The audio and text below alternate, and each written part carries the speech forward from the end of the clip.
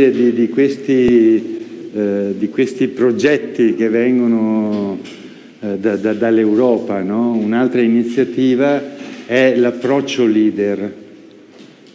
L'approccio leader nasce, nasce, moltissimi anni fa proprio per cercare di, eh, dire, di ridurre gli squilibri regionali all'interno del territorio comunitario. No?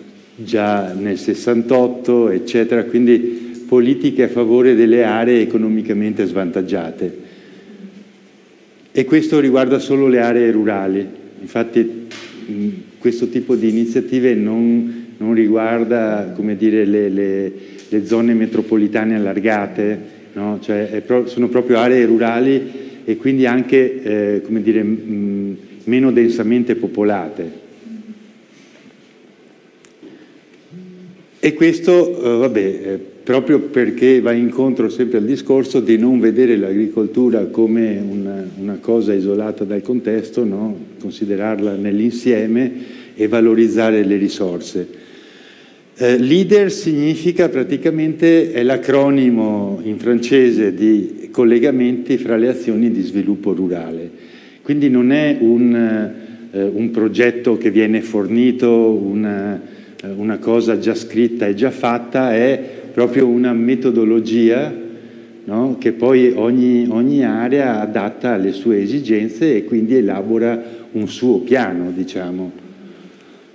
Ha una storia molto lunga, infatti vedete parte dal 91 e poi viene rifinanziata, i fondi strutturali, tutta una serie di passaggi, vedete fino al 2013, adesso sarà rifinanziata e quindi va avanti ancora questo progetto e questi sono gli obiettivi, no? migliorare il potenziale di sviluppo delle zone rurali attraverso attivazione e mobilitazione delle risorse locali. Quindi qui si parla proprio di locale, no? di zone molto, molto ridotte, molto piccole, zone che territorialmente sono molto omogenee, anche in termini di popolazione sono, eh, vanno al di là delle divisioni tra provincia e provincia, eh, raccoglie magari, non lo so, una valle e tutti i comuni della valle, no? cioè è un'entità geografica molto, molto simile come territorio.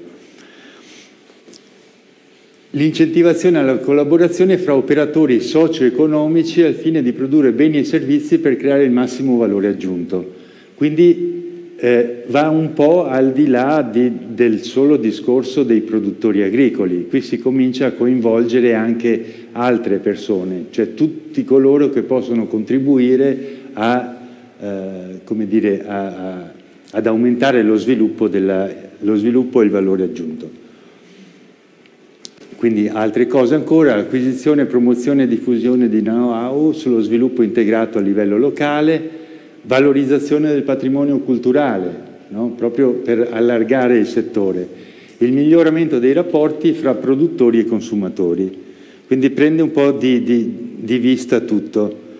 Vabbè, questa è una definizione pure semplice e vedete che è, è anche il passaggio, no? il passaggio dalle politiche, eh, come dicevo prima, dalle politiche precedenti che erano interventi diretti, come abbiamo visto, quindi intervenivo direttamente sul sostegno dei prezzi agricoli, no? l'ammasso volontario, ritiravo il prodotto in modo da mantenere alto il prezzo, erano degli interventi proprio fini a se stessi. Adesso si va invece nella direzione di qualcosa che promuova comunque il reddito dell'agricoltore attraverso un'azione una, un più sociale, diciamo.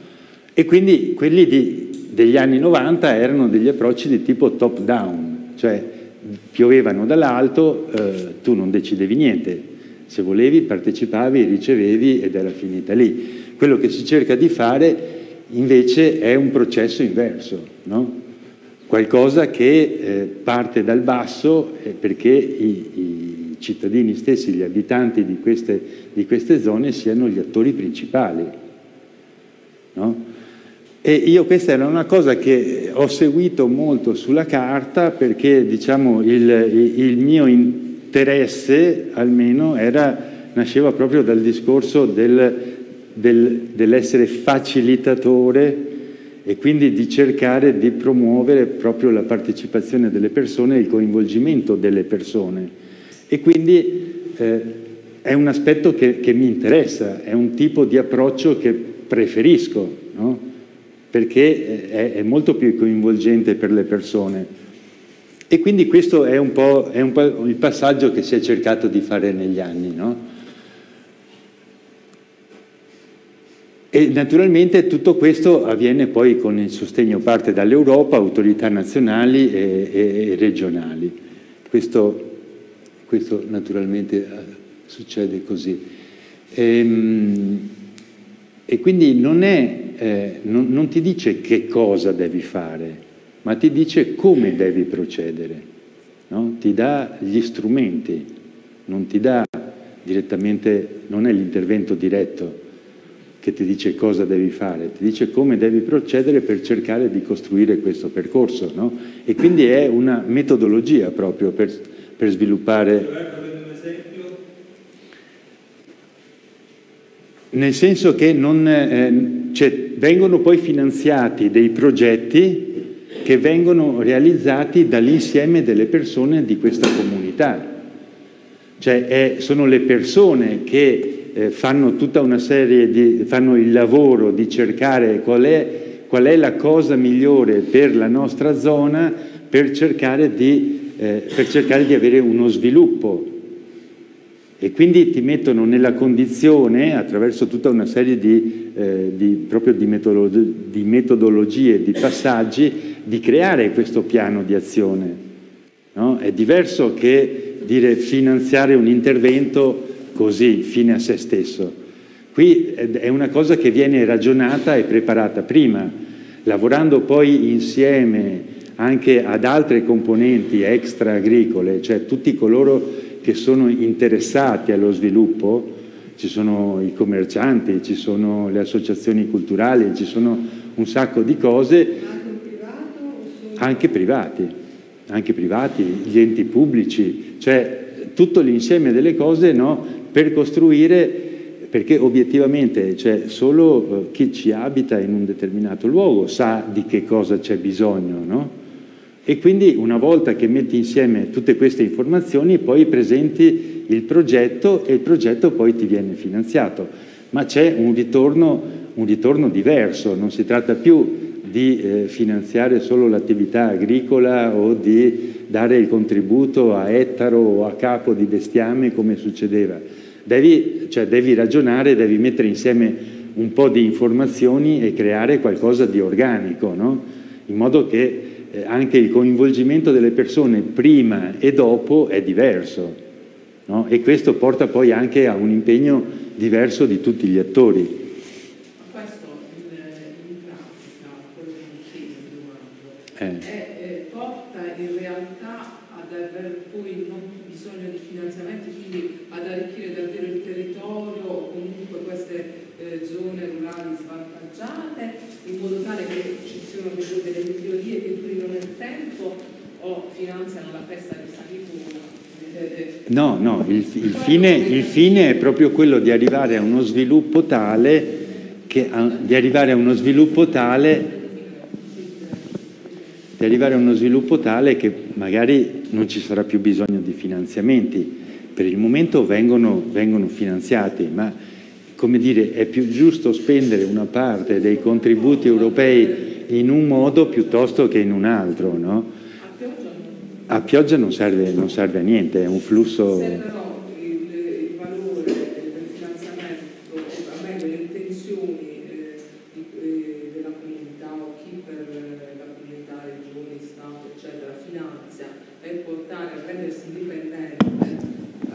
dipendenti dal finanziamento, parere è un valore aggiunto. È un valore aggiunto, certo. Sì, sì, no, infatti la differenza è Per questo chiedevo se poi realmente il riscontro per te che hai esperienza, per lei che ha esperienza, scusami se detto del. No, del tutto, del tutto. Ehm, nei fatti accade questo, oppure i progetti che poi vengono realmente finanziati sono di altro tipo?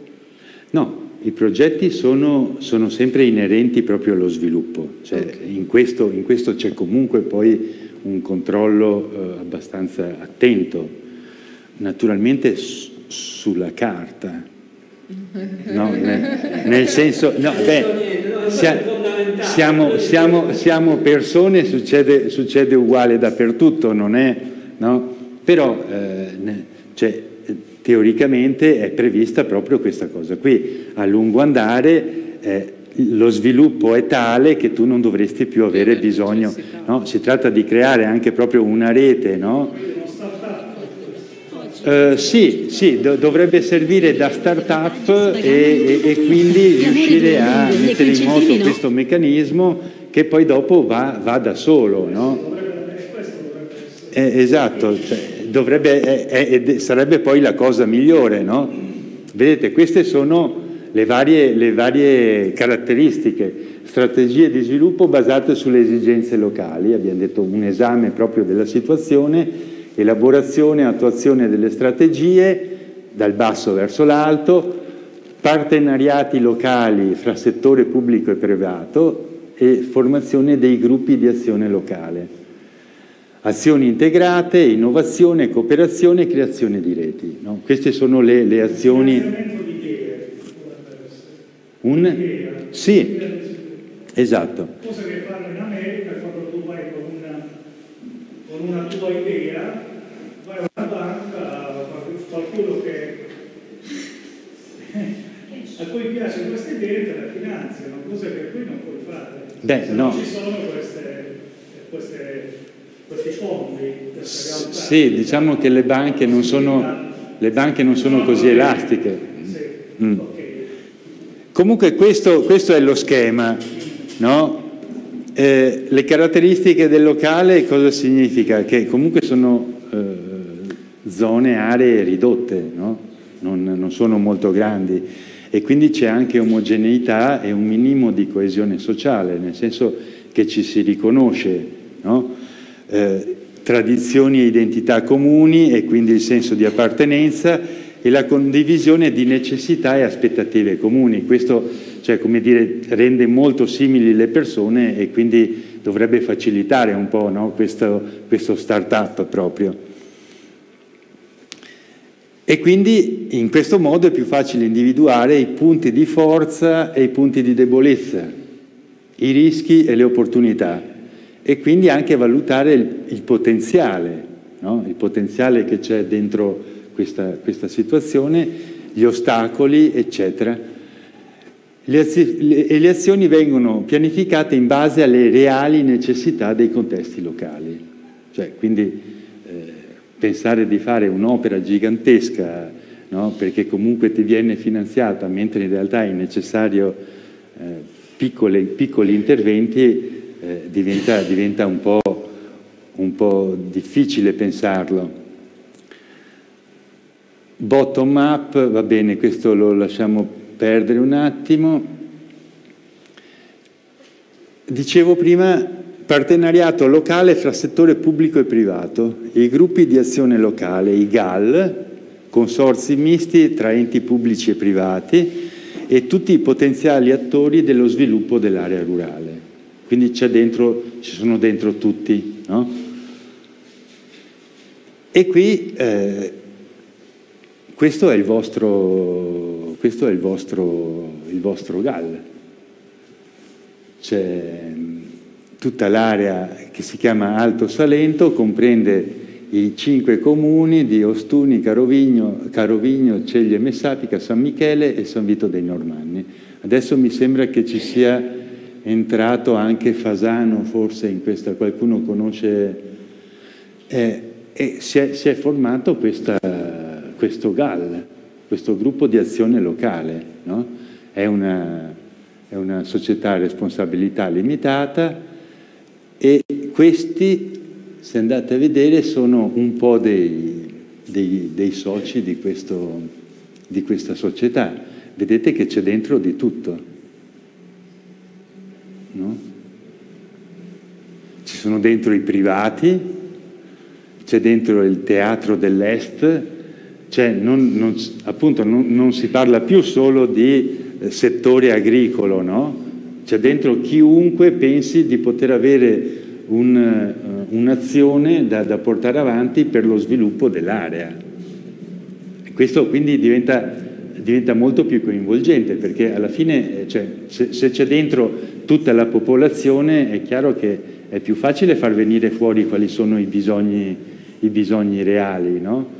Cioè pianificare degli interventi, pianificare delle cose, una volta che hai individuato qual è la problematica diventa, diventa automatico. E quindi dovrebbe essere anche molto più efficace, nel senso che eh, verifico quali sono i problemi eh, e se, se, se c'è il finanziamento chiedo il finanziamento per quell'azione, che è un'azione poi eh, come dire, eh, sviluppata da tutti e quindi condivisa da tutti no? perché il problema se no è sempre che eh, vengono fatte delle cose, però poi queste cose servono a uno, due, tre persone e gli altri sono fuori gioco. Invece in questo modo si dovrebbe riuscire a... Questi sono degli altri, degli altri soci di questa... Vedete, vedete che ci sono, ci sono tutti. C'è la scuola, c'è il gruppo folk, eh, insomma ce n'è, per tutti i gusti. Ecco, io a questo punto una domanda ve la faccio io, ma come funziona questo, questo, questo GAL? Eh, cioè, no, non lo conoscete? No, ditemi di no, ditemi che lo conoscete. Ho visto, io la prima cosa che ho notato oggi mentre venivamo in qua era una, una targhetta fuori da un negozio con il loghino, con il loghino del, del, GAL davanti al negozio, probabilmente è un, un negozio, un'associazione che, che, partecipa a questa iniziativa. No? E quindi, allora, eh, rewind, torno indietro, cioè vedete che queste azioni, no? comunque queste iniziative lodevoli, per carità, perché è il modo giusto di affrontare le cose, poi nella realtà dei fatti hanno un'applicazione un che, che, non coinvolge nessuno. No? Ed, è, ed, è, questo allora il punto dolente, perché scusa, è inutile mettere in piedi una cosa del genere se poi dopo nella realtà dei fatti i cittadini non la conoscono. Quindi eh, lodevole come iniziativa e tutto quanto, ma forse bisognerebbe lavorare di più sulla conoscenza. No? Cioè se c'è, un, se c'è un, un, mezzo per cui posso contribuire, eh, per carità, va benissimo. Io poi eh, da, dalla mia formazione permaculturale ho un principio di fondo che anche se una cosa non, eh, dire, non è così ehm, non è proprio nelle mie corde, se non la sento così vicina a me, comunque meglio lavorare con che lavorare contro. Cioè lavorare contro è solo una perdita di energia, no? è tempo sprecato. Quindi se c'è una, una, cosa così, partecipo comunque, no? partecipo comunque perché eh, se, se partecipando riesco a fare qualcosa di buono, tanto meglio. Eh, il problema è che se, se, queste cose vengono create e il dubbio che mi viene, cioè vedendo che comunque non sono conosciute, è che comunque siano degli strumenti per, eh, dire, mantenere le cose in mano di pochi. No? Quindi tutta la democraticità del, del, processo che viene dal basso eh, non, non, è così reale, insomma. No? E, e allora... Eh, io capisco lo sforzo e su, su questo, su questo le, le, regioni ci, ci, mettono, ci, mettono, molto impegno.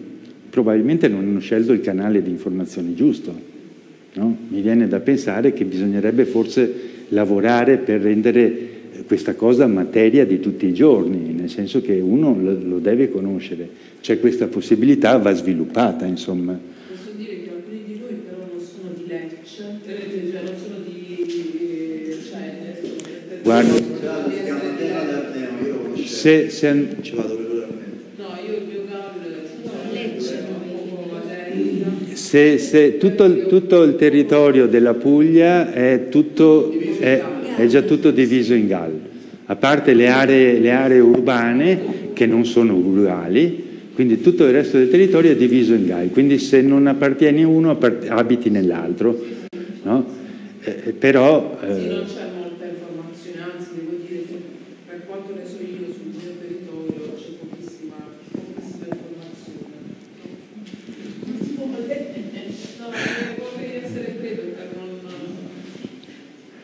Ecco, eh, esatto, vedete che poi alla fine, insomma, cioè, l'unione fa la forza, ok, ma poi sviluppando delle...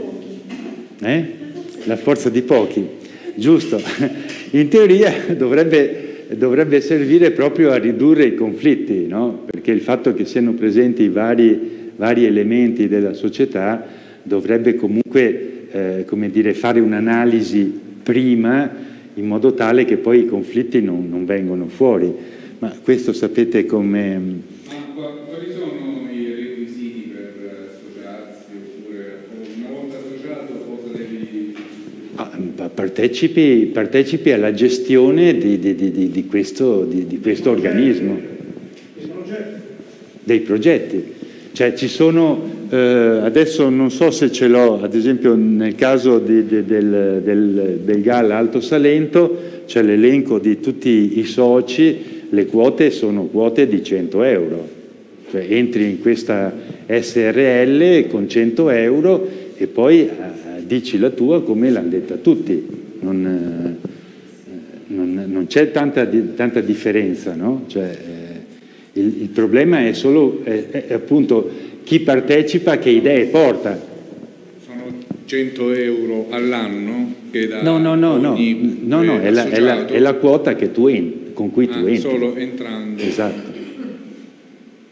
Perché eh, per quello che ho visto, cioè non ho approfondito, non ho fatto proprio caso troppo, eh, quello che hanno organizzato l'anno scorso eh, si chiudeva sempre nell'ambito dei loro associati, cioè tipo un giro nelle masserie e c'erano solo eh, prese in considerazione le masserie di, degli associati, ah. eh, anche se c'erano delle altre masserie molto più interessanti per quell'argomento e l'hanno ignorate. Ecco le stesse persone che fanno sempre le stesse cose eh, per due o tre eh, iniziative diverse. Eh, lo so, eh, il problema è appunto le, le persone, cioè le, le, le, persone sono poi il problema, non è tanto eh, la, la, la, struttura, non è tanto il, il processo, no? cioè, una, una, cosa così dovrebbe, se, se, il tuo interesse è lo sviluppo locale, cioè fai un anno le masserie da una parte e l'altro anno, anno, le altre, no? Eh, chiaramente poi però, per questo dico che conviene essere... Ma per questo che dico... Co... le osterie pure, ci sono anche altre... Ma per questo... Quindi tutto ruota lì. Certo, ma per questo dico che conviene esserci dentro, no? Perché poi obiettivamente, se no anche contestare l'azione è una SRL, fondamentalmente non è che puoi dirgli molto, no? Eh, quindi o sei dentro o, o sei fuori, quindi eh, è chiaro se, che se la visione dei componenti di, questi, di queste realtà è quella, eh, non, puoi sperare, non puoi sperare molto. Per questo che dico, conviene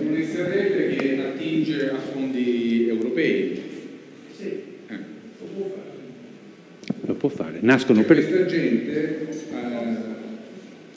riesce a gestire, cioè a, a, manovrare questi fondi sì, sì, sì. da no. distribuirsi. Beh no, lo, cioè, sempre, sempre sul progetto.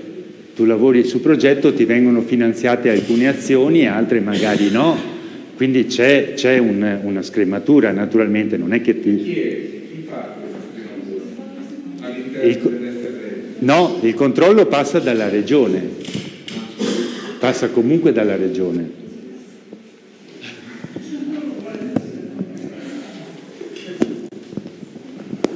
Vedete? E quindi...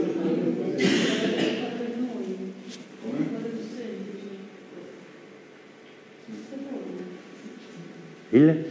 Dico, questa forma forse è quella più semplice una SRL che ha tutte le eh, incombenze amministrative, di bilancio, eccetera, che eh, ovviamente non spettano ai singoli associati certo. e dei privati si possono associare e quindi contribuire con una voce di orientamento a far sì che accadano delle cose all'interno delle scelte. Ma quindi per un gruppo... Sì, considerate che mol, molto spesso, direi quasi sempre, eh, cioè, eh, i politici, la politica sono a corto di idee. Ecco, infatti. Cioè sono a corto di idee, non sanno più dove mettere le mani. No? Se non ci sono fondi europei, ormai i nostri comuni, le nostre regioni annaspano, no? e quindi la, la, partecipazione deve poi anche servire a, a promuovere le cose, innanzitutto anche a dare un segno di quali sono le esigenze reali perché molto spesso la politica è così lenta che quando arriva a, a fare qualcosa è già tardi, cioè la popolazione ha già un altro problema no, da risolvere, quindi eh, è, è, importante secondo me proprio eh, riuscire a trasmettere in tempo reale. Molte regioni si, muovo, si stanno muovendo ad esempio nella direzione del coinvolgimento dei cittadini eh, la, la, Regione Toscana ha fatto la legge sulla partecipazione, eh, tutta una serie di atti, ad esempio, devono essere discussi dai cittadini, no? cioè, in modo proprio da metterli... E per dire, c'è, eh, stato un momento eh, come Transition Italia, che fa parte del Transition Network europeo, che siamo stati chiamati a Bruxelles, no? perché la Commissione e, e, e questo la Commissione europea vale la stessa cosa del governo italiano, idee zero, eh, cioè alla fine si sono resi conto che eh, di questo passo non, non, ci sarà molta possibilità di intervenire così pesantemente nel sostegno all'agricoltura, nel sostegno agli operai in cassa di integrazione, disoccupazione, cioè sono tutti aspetti che rischiano di assorbire sempre di più soldi che non ci sono più No? E quindi eh, la cosa gli interessava perché il, il, fatto invece di lavorare molto orizzontalmente no? con le comunità, no? di proporre dei sistemi per cui eh, le, le, comunità, le persone fanno lo stesso le cose, si mettono in prima persona d'impegno e fanno le cose, cioè la tua scuola non, cioè, ha i muri scrostati, sta cadendo, un gruppo di persone si mette lì e rifà la scuola, punto. Cioè arriveremo al punto che non ci saranno soldi per sostenere tutte le azioni necessarie. Loro si sono, insomma, audizione chiamati a, a, a Bruxelles per capire che cosa, no, che cosa, si può fare per coinvolgere, per coinvolgere le persone direttamente. Devo dire la verità che a me all'inizio è venuto il dubbio di dire, cavolo, questi prima hanno buttato i soldi dalla finestra, adesso che non ce n'è per nessuno vengono a chiederci a noi cittadini di essere coinvolti direttamente perché in fondo è un bene pubblico, no? perché alla fine si ritorna sempre lì ed è, eh, cioè, è, è un dubbio eh, reale. Però obiettivamente che cosa, che cosa, possiamo fare se non dare una risposta positiva? Cioè se finalmente potessimo cercare di avere un ruolo attivo e di prenderci in mano le cose, sarebbe, sarebbe molto positivo.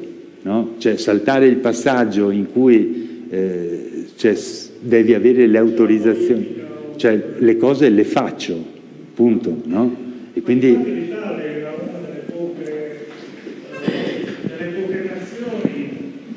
usufruire completamente di tutti i fondi europei perché c'era scarsità di idee, di progettualità e sì, quindi non ma, si riuscivano a, ma no, a, prendere tutti. Non solo, molto spesso non è così, non è così semplice, cioè se le idee eh, questo corso che, a, abbiamo, che, abbiamo, qui, grazie a, a Francesca, eh, lei non, cioè, com, non, lo puoi fare come singolo. Sì. No? Quindi già, già, mettere dei paletti per cui ci sono tutta una serie di passaggi che tu devi fare, devi essere qualcosa per poter...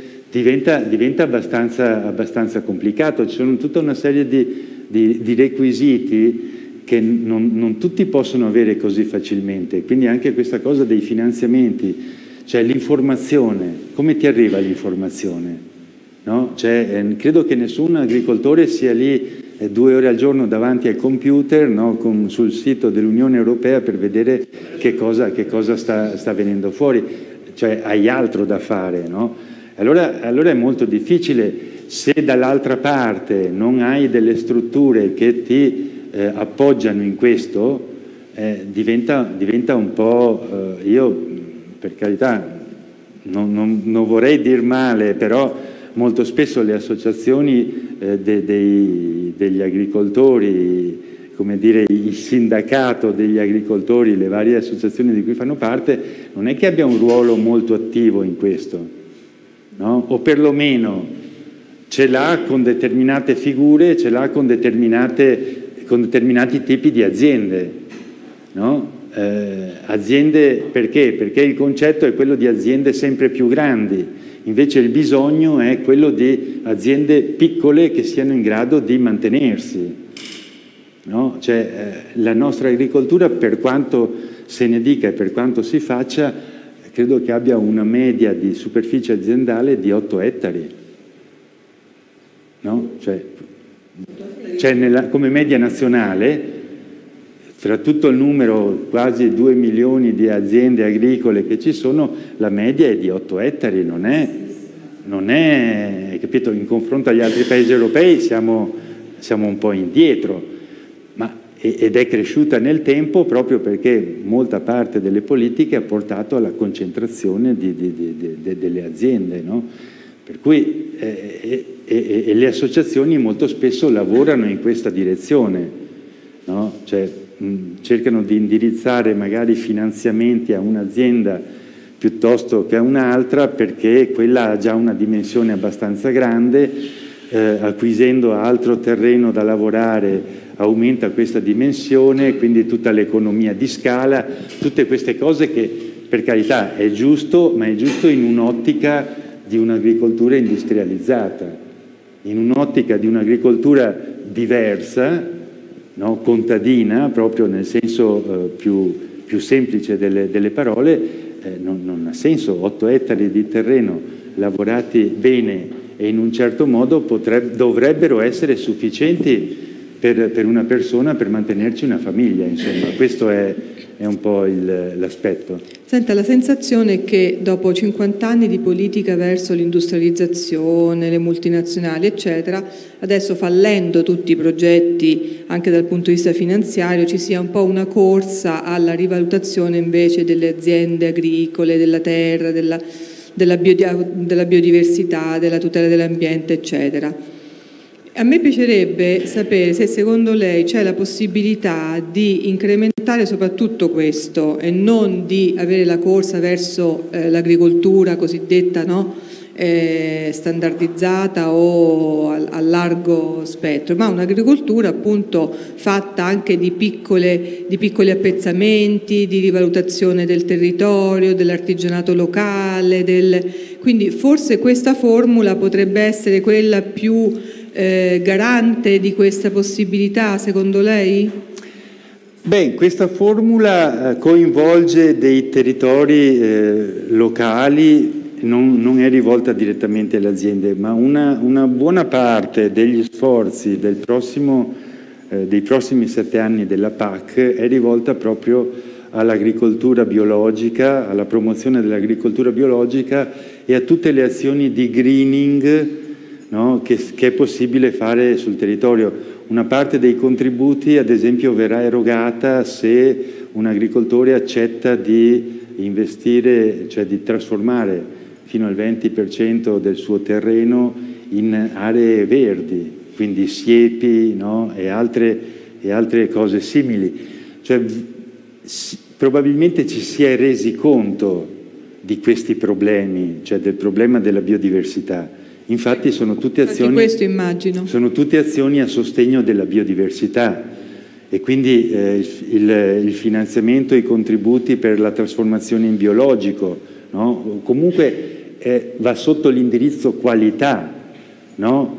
eh, anche eh, le produzioni DOP o IGP, no? finanziare questo tipo di cose, cioè andare anche a creare delle nicchie di mercato diverse dal, dal tradizionale, cioè continuare a produrre cereali perché non puoi fare altro, è, è vero, però se hai modo anche di orientarti almeno una parte dell'azienda perlomeno in un'altra direzione può essere positivo. In fondo le, le, le, aziende biologiche in questi ultimi dieci anni sono, sono le uniche a essere cresciute come numero. In totale le aziende agricole sono calate, ma le aziende biologiche sono cresciute. Il, il biologico, anche come eh, produzione lorda vendibile, è, è aumentato. Certo. È un mercato che coinvolge sempre, sempre più persone ed è comunque un tipo di azione che è molto positiva per il territorio. Certo. È un tipo di azione che con 8 ettari magari ne hai più che a sufficienza, no? perché poi hai un tipo di atteggiamento che non è quello de, di 8 calorie contro una, no? la maggior parte delle cose magari le fai a mano piuttosto che, che comprare e spendere dei soldi no? in, in attrezzature e macchine. Certo, per esempio il problema che noi abbiamo maggiormente dei disserbanti, che non è un problema solo locale, ma è un problema planetario, perché sta veramente avvelenando la certo. Terra, dando un contributo forte alle malattie degenerative. Ora, se si volesse veramente risolvere questo problema, basterebbe nei punti vendita dare tutte le informazioni, eh, eh, sottoporre no, a esibizione del tesserino a tutti i compratori, cioè si potrebbe in realtà risolvere questo problema. Eh, sì, si ecco, po- quindi potrebbe. voglio dire, mh, tutta questa normativa molto spesso eh, fa sorgere anche qualche dubbio, nel senso che sì, da una parte c'è una sensibilizzazione da parte delle autorità eh, governative di eh, diciamo, ridare eh, sostegno, forza, attenzione alla terra e ai prodotti della terra in modo naturale Dall'altra però c'è una press- continua ad esserci purtroppo una pressante, eh, inter- un pressante interesse economico eh, de- sì. di chi invece questi prodotti li vende, li commercializza. Cioè, questo eh, questo... Ma loro scrivono per l'OGM in Italia. Eh, ecco. Beh, co- co- co- considera che l'OGM fino, fino ad ora siamo riusciti ad evitarcelo perché comunque l'Unione Europea non l'ha accettato, non so, non so quanto resisteranno, eh? perché poi anche rispetto al discorso che facevi tu, l'azione delle lobby a Bruxelles è fortissima, cioè i gruppi di interesse lavorano naturalmente in senso opposto. Ma se non sbaglio... Sì, sì, sì. Se non sbaglio, eh, negli ultimi giorni o ultime settimane è stato firmato un altro accordo tra Unione Europea e Stati Uniti dove per il libero scambio eh, no, di, i, eh, TCC, una cosa del genere. E in questo accordo eh, ci si scambia di tutto senza rispettare quindi le, le regolamentazioni eh, relativa agli OGM, eccetera. Resto, ah, probabile. Ma è chiaro che prima o poi succederà. Cioè, eh, tutto questo all'interno degli accordi commerciali del WTO, no? eh, che è l'organismo che, che, che, governa gli accordi commerciali mondiali, eh, cioè, è impossibile. Cioè, non, non puoi, quando, quando l'altra nazione mette sul piatto delle, delle carte pesanti, e poi alla fine che fai? Cioè, eh, molta parte dei nostri prodotti, i DOP e i GP sono un caso esemplare, prendono il volo e finiscono dall'altra parte dell'oceano. Allora, eh, cosa fai? Accetti gli OGM o vuoi i dazi? No? Alla fine sono queste le cose, altro che accordi commerciali, sono, no? sono molto, molto elementari come situazioni. Per cui, per cui, passano poi queste cose qui. Ah, se ti mettono il dazio, sul, il dazio sul prosciutto di Parma, poi vaglielo dire te ai, ai prodotti, o sui vini. Se smettesse no, non avremmo il problema. Esatto, questo è uno di quelli. Potremmo evitare gli OGM.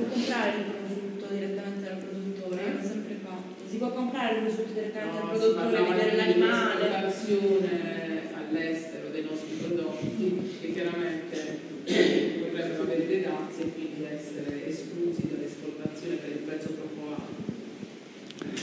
Va bene, comunque, insomma, ripeto, nel, nel, nella logica è un, un elemento molto, molto valido, bisognerebbe appunto trasformarlo trasformarlo un po' a nostro vantaggio, cioè essere, essere consapevoli di questa cosa. Alla fine è, dire, uno strumento che, che, ci viene dato, che potrebbe essere interessante utilizzare. Eh, poi naturalmente, ripeto, eh, siccome è fatto da, è composto da persone, fondamentalmente è chiaro che poi ci sono tutti i ma e i se del caso, e però insomma eh, è un'opportunità è un'opportunità. L'altra cosa importante è che appunto eh, meno male finalmente anche l'Europa ci è arrivata, adesso l'azione, la spinta verso i finanziamenti dati al biologico e a tutte le azioni di, eh, dire, di, di, di arricchimento della biodiversità, di trasformazione dei suoli, cioè, eh, saranno, saranno, molto più consistenti. E quindi, insomma, quindi speriamo che che cominci a cambiare abbastanza velocemente. Molto, molto probabilmente, mi sembra che ne parlavo prima, cioè, eh, verrà introdotto anche questa sorta di obbligo della lotta integrata. No? Quindi non, non, più trattamento libero quando uno, quando uno gli gira, che uno decide e faccia i trattamenti, ma c'è proprio registri, registri dei prodotti fitosanitari, no? trattamenti autorizzati solo in determinati momenti, eh, taratura, taratura, delle macchine, no? delle, delle, degli atomizzatori che, che, che, utilizzi, per cui non va via più di tanta acqua ettaro, cioè eh, delle, delle, maglie molto fitte, insomma, no?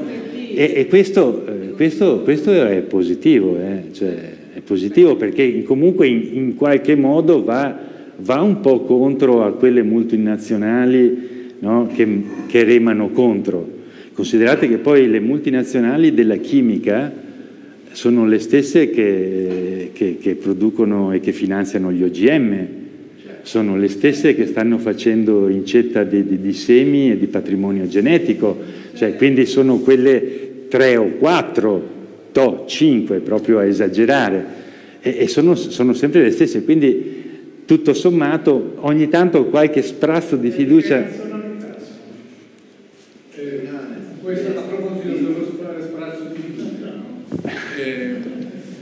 Allora, eh, ho saputo che da quest'anno, eh, da quest'anno sembrano vietati eh, gli spruzzatori di, di serbante idrogetto, quelli che facevano così, e, e, invece al loro posto si dovranno usare quelli, come diceva... Eh, Più locali, quelli calibrati. Sì, con l'atomizzazione tarata, bassi, eh, ricoperti dalla plastica e, allora, eh, sono le multinazionali che stanno diffondendo questo attrezzo, eh, sono loro stessi che danno a, ai, a chi esegue i trattamenti, l'irrorazione eh, queste strutture, eh, organizzano anche i corsi eh, per informare i patentati.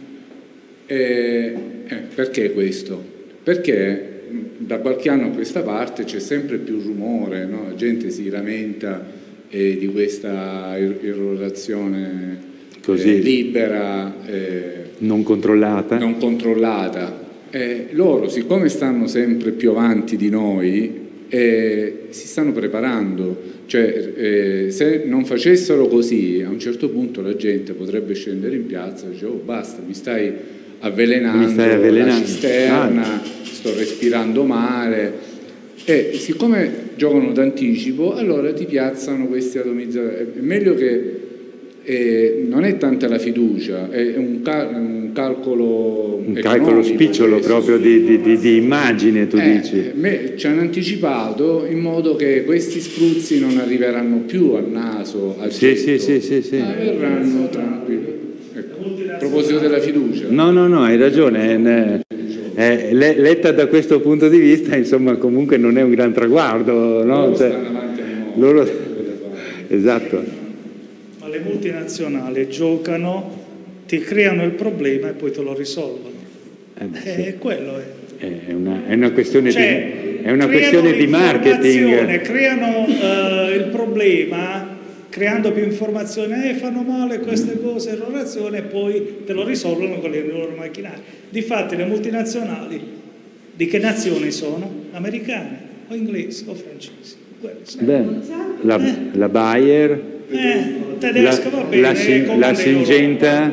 Alla insomma, fine dobbiamo renderci conto che dal 1945 noi abbiamo perso la guerra e quindi dobbiamo sottostare a, eh a anche, anche, la Bayer, anche, la Bayer, dei tedeschi eh. dovrebbe aver perso la guerra, però è comunque, è comunque la più grande azienda chimica del mondo.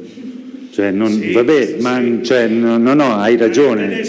Sì, sì, sì, no, ma ass- assolutamente. Come i giapponesi diversi, hanno alzato sempre il capo quando sono stati rasi al suolo, hanno sempre alzato il capo sia i tedeschi che i giapponesi, quindi Vabbè. No, riescono ma no, noi stiamo meglio. ad alzare il capo.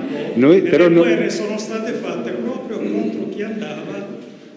Ma, ma, ma, ma noi, noi, siamo andiamo, meglio. Andiamo, su un, altro... andiamo su, un altro, su un altro argomento. Va bene, allora vediamo un po'. Ah, questa Come siamo messi a orario? 6 e 20, ci fermiamo un attimo, poi tendiamo, cerchiamo di andare dritti o andiamo avanti un po'? Eh?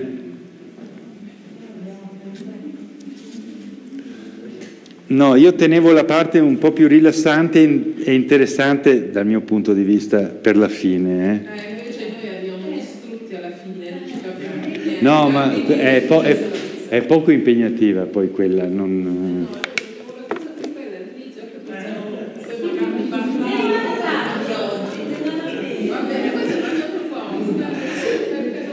Allora, no, eh, vi ricordate prima che abbiamo visto, abbiamo visto questo, questo aspetto qui?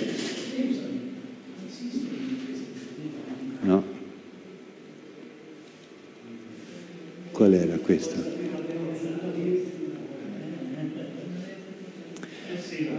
Io vorrei, non lo so, vorrei anche provare a darvi qualche, qualche strumento, no? Qualche strumento. Eh.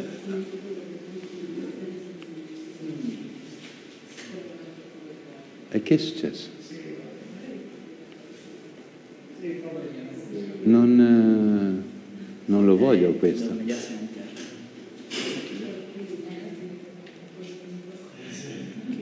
questo voglio dire.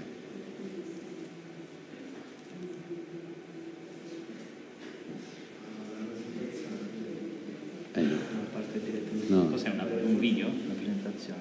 Era una presentazione, meglio il PDF. Prima abbiamo visto questo punto qui. Adesso però mi, vi imbeccate un po' impreparato. Vediamo.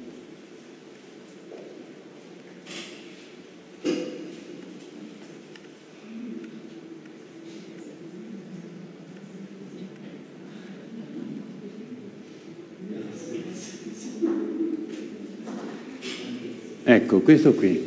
Vedete, è più facile individuare i punti di forza e di debolezza e i rischi e opportunità. Questi sono i quattro elementi che compongono l'analisi SWOT. L'analisi SWOT, che è l'acronimo in inglese di, dei quattro punti debolezza, eh, forza, opportunità e rischi. Adesso vado a cercare il file così lo vediamo meglio. Arrivo, eh.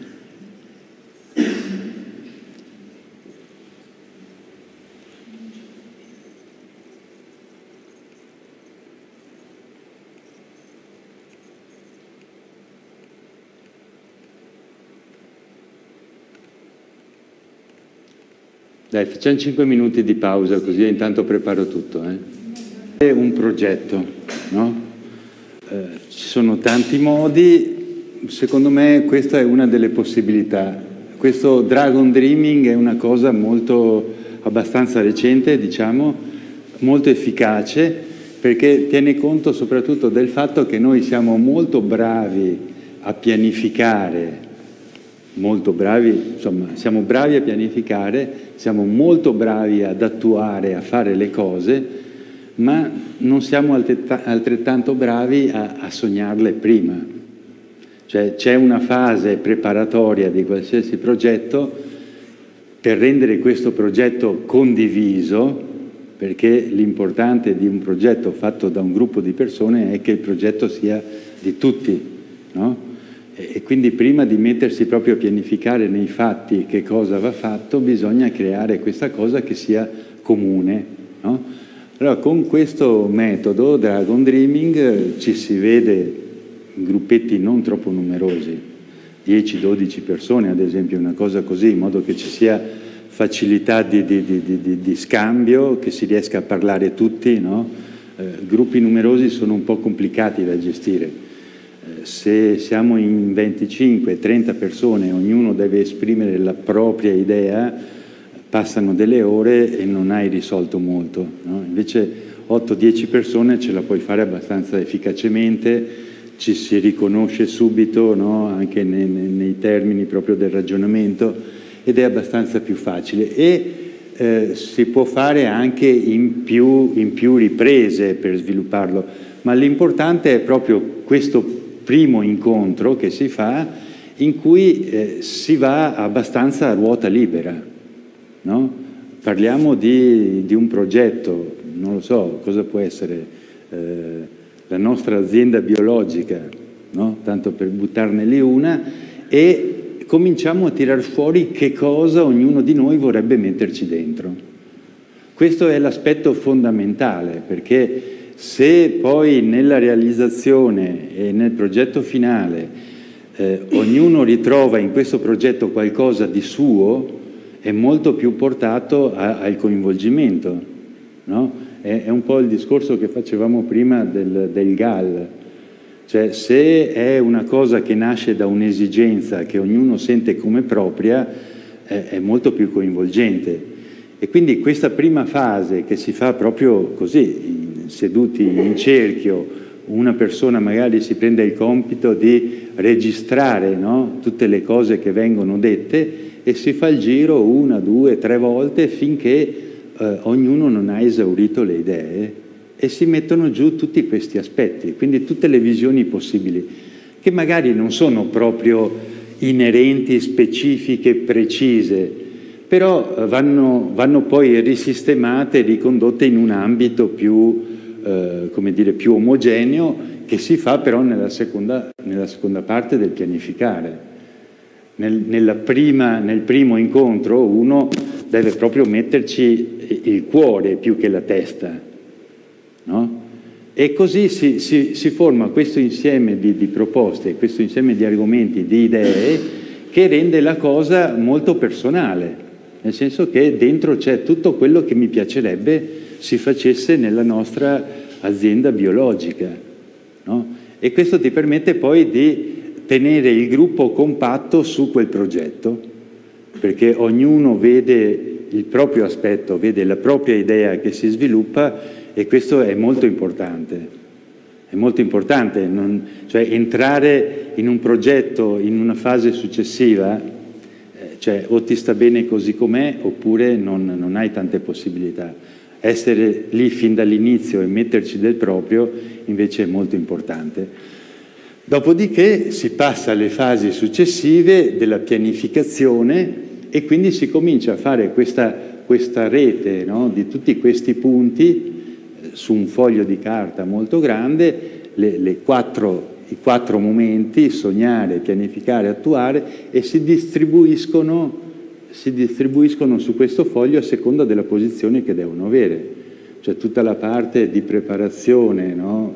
di sogno, va, va, su in alto nel, nella prima fase del sognare. La pianificazione delle operazioni successive, eccetera, è proprio pianificazione e poi c'è l'attuazione. L'altro elemento molto importante a cui non siamo abituati in genere a dedicare più di tanta importanza, più di tanto tempo, è quella della celebrazione. Ma celebrazione intesa facciamo festa e va bene, c'è anche quella componente lì ed è importante, ma celebrazione anche come momento di verifica, no? cioè verificare a un certo punto del percorso se tutto quello che avevi messo nel tuo piano no? è, è, viene portato avanti, è, è importante, cioè raggiungere un obiettivo e celebrarlo è importante e ognuna di queste, ognuna di queste azioni deve avere lo, lo stesso, eh, come dire, la stessa percentuale di impegno. Non è che, eh, che, che una vale di più e l'altra vale di meno. Cioè se pianificare delle cose che non hai sognato, tra virgolette, eh, è un, un esercizio di, di, così, di stile, no? Attuare senza pianificare è una perdita di tempo. No? Per cui è, è, fondamentale che ci siano tutti i passaggi, che ci siano tutti i passaggi in modo da avere il coinvolgimento e avere anche uh, un'idea precisa, no? cioè visione globale e azione locale, cioè devo avere in mente un progetto completo e poi vado ad agire nel particolare. No? Non, non, puoi, non, puoi, fare il contrario, vedere una cosa e pensare, e pensare in grande senza averla prima progettata. E quindi questo è un lavoro che si fa, porta via magari due o tre incontri, no? però insomma è, un, è, il nostro progetto, bisogna discutere, bisogna parlarne, no? va, fatto, va fatto per benino. E poi naturalmente si celebra anche alla fine del progetto subito celebrazione, quindi i, momenti, i momenti, di celebrazione sia come eh, feedback proprio no, di, di, quello che è stato fatto, ma di celebrazione vera e propria, sono importantissimi, non fanno altro che cementare il gruppo intorno a questa visione. Un altro punto invece molto più eh, come dire, preciso, attento, scientifico è l'analisi SWOT, no? l'acronimo di Strengths, Weakness, Opportunities e Threats. E questo, eh, questo per, ci permette di avere eh, punti di vista diversi rispetto all'elemento preso in esame. No? Molto spesso eh, noi tendiamo a, uh, dire, a, a, ragionare per comparti perché magari abbiamo una visione eh, molto tecnicistica di un aspetto, no? siamo degli esperti di questa cosa e difficilmente riusciamo ad andare oltre col nostro cervello. Affrontiamo un problema ragionando in quel senso lì.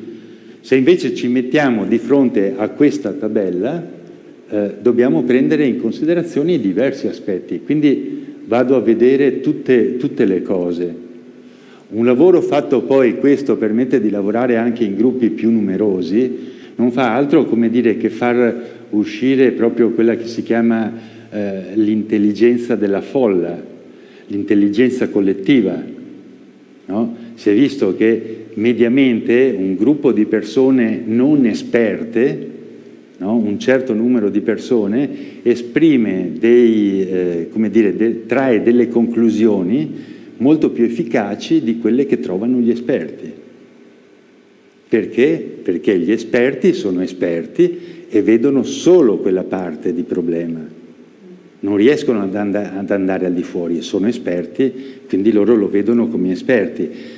Un gruppo più numeroso di persone che ha visioni diverse prende in considerazione tutti gli aspetti, si immagina quello che può succedere dopo, quello che è successo prima, cioè, e, quindi riesce a, a, produrre dei risultati molto più efficaci, ma è, questo è scientificamente provato proprio, è, è una realtà. No? E in genere eh, queste, questi quattro elementi, se vedete, sono divisi in, in rosso e, e, in azzurro. No? In azzurro sono diciamo le cose positive, no? punti di forza e le opportunità, mentre a, a destra invece abbiamo uh, le cose negative. No, scusa, uh, debolezza, no, è, è diviso nell'altro senso, non ho capito perché. E, ehm, e poi un'altra divisione che dobbiamo fare invece è eh, nel senso di forza e, e, debolezza intese come elementi interni propri. No? È il gruppo che ha la forza di fare certe azioni o ha la debolezza su altri, mentre opportunità e rischi sono più elementi che ti vengono dall'esterno. No? Quindi eh, anche la divisione del lavoro che va fatto, cioè sui, sui primi due punti eh, riusciamo ad agire più noi come gruppo, sugli altri due invece sono da valutare come eh, elementi potenziali che vengono dall'esterno, quindi sono da valutare diversamente. Il lavoro che si fa in genere eh, è, ad esempio, se volete, se avete un argomento ci proviamo subito, eh, si distribuiscono la, la, le discussioni sono belle, bellissime, portano via un sacco di tempo. No? Allora in genere su questo schema qui si prendono dei, dei come si chiamano i memo, i, i post-it, si prendono dei post-it, ognuno ha un blocchetto e comincia a scrivere, comincia a scrivere tutti i punti di debolezza che trova, tutti i punti di forza, i rischi, le opportunità ci si prende il tempo che ci vuole, si scrivono tutte queste cose, dopodiché si comincia ad applicarli sul, sul tabellone, no? si fa il tabellone su un pezzo di carta e si comincia ad applicarli. Quando vai poi alla fine, si fa una sorta di restituzione collettiva di quello che è stato scritto, si legge e vedi che in realtà ci saranno due tre elementi che sono comuni a tutti. No? Eh, questo è, è naturale. In genere quasi tutti i progetti hanno come punto di debolezza, di debolezza l'aspetto economico, ad esempio. No? È uno, è uno dei... Però nell'insieme poi ognuno mette eh, in uno dei...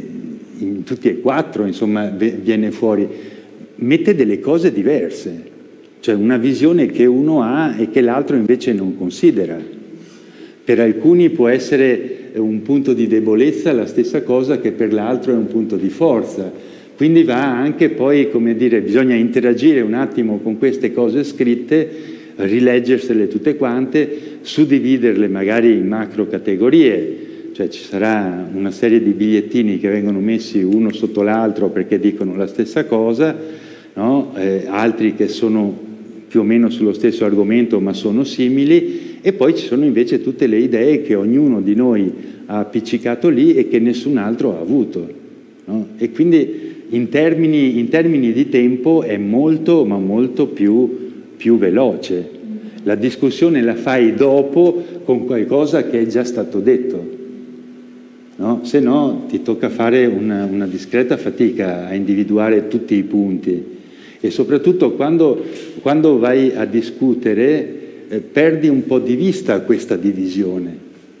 No? Si tende sempre a, a passare da una cosa all'altra senza mai però fissarla sulla carta e quindi, e, e quindi porta via molto tempo. Il lavoro che si fa poi successivamente, perché non vai avanti? è quello di lavorare su, su, questi, su questi passaggi. Mentre punti di forza e opportunità, diciamo, sono facilmente scambiabili, no? Eh, un punto di forza ti dà delle opportunità e viceversa. Bisogna invece lavorare per trasformare i punti deboli in punti di forza e i rischi o le minacce in opportunità. E questo, questo è è proprio il lavoro più importante che va fatto. Qui mancherebbe secondo me anche una freccia sul lavoro che va fatto tra i punti deboli e le minacce perché appunto i punti deboli non diventino delle minacce. No, il punto debole è un punto nostro, interno, è, è, è come dire un, un punto su cui devi lavorare perché non si trasformi in minaccia. No? E quindi c'è questa serie di passaggi, di passaggi, da fare. Quindi ad esempio, ad esempio quella, il primo lavoro che va fatto, anche perché poi in genere è la, la, la componente più, più numerosa, è quello di trasformare i punti deboli in punti di forza. Cioè i punti, trasformare i punti deboli in punti di forza significa eh, fare un, un lavoro abbastanza consistente, ma cioè non è, non è, eh, non è eh, impossibile, nel senso che riconoscere i punti deboli è già un passo avanti ed è soprattutto su quelli che vai a lavorare, no? nel senso che è, mentre, mentre, i rischi, le minacce, eh, ok, eh, sono importanti, però sono cose che ti vengono dall'esterno innanzitutto e su cui non puoi non puoi eh, agire immediatamente, non puoi agire con certezza di, di risolverli, non dipendono da noi, no? dipende dall'esterno e quindi non hai, non hai, questa possibilità così reale. Invece i punti di debolezza, quelli, quelli dipendono da noi, quindi andare a, a verificarli, a sintetizzare veramente qual è l'elemento di fondo, il problema di fondo, è già una soluzione. Perché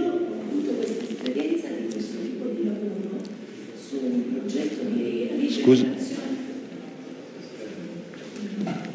Accendi sotto.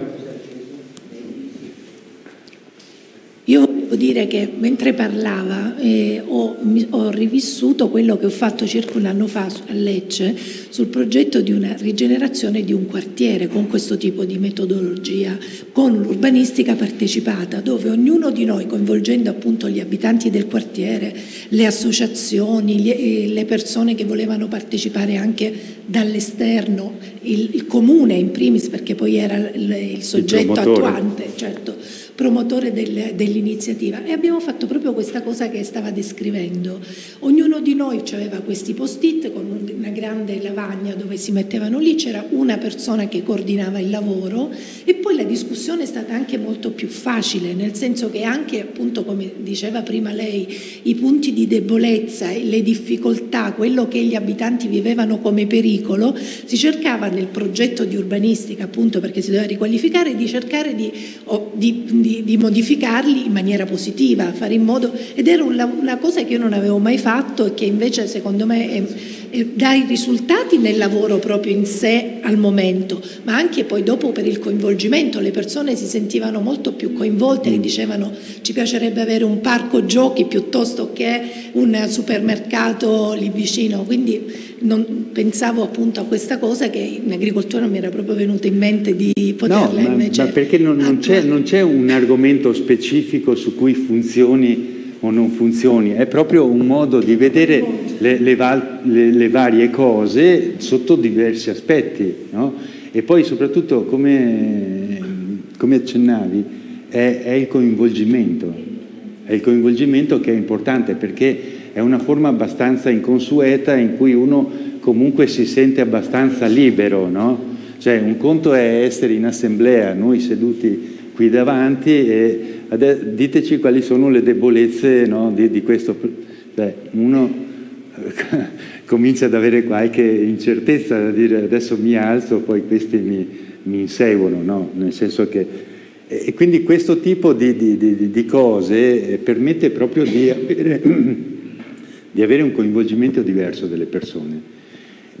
E poi ci potrebbe, su questo ci si lavora poi, nel senso che eh, c'è un altro, un altro metodo che si può applicare, che si può applicare,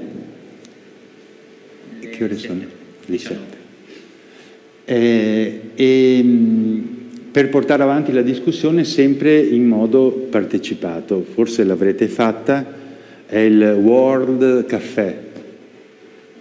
È, no, è, nel World Café è importante che ci sia un corner con pasticcini e caffè messi lì nell'angolo in modo che chiunque quando ha voglia o è stanco della discussione si alza e va, e va a mangiare qualcosa. Questo, questo, infatti si chiama World Café proprio per quello, no? L'altro elemento è che, ad esempio, dopo aver fatto questo tipo di analisi, eh, anche lì si cerca sempre di lavorare con gruppi abbastanza piccoli. Il massimo sarebbero 6-7 persone, proprio perché eh, c'è questo problema. Oltre cominci a perdere il filo della discussione. Prima che abbiamo parlato tutti ci vuole un'ora, allora eh, diventa un po' difficile. Sei persone è l'ideale.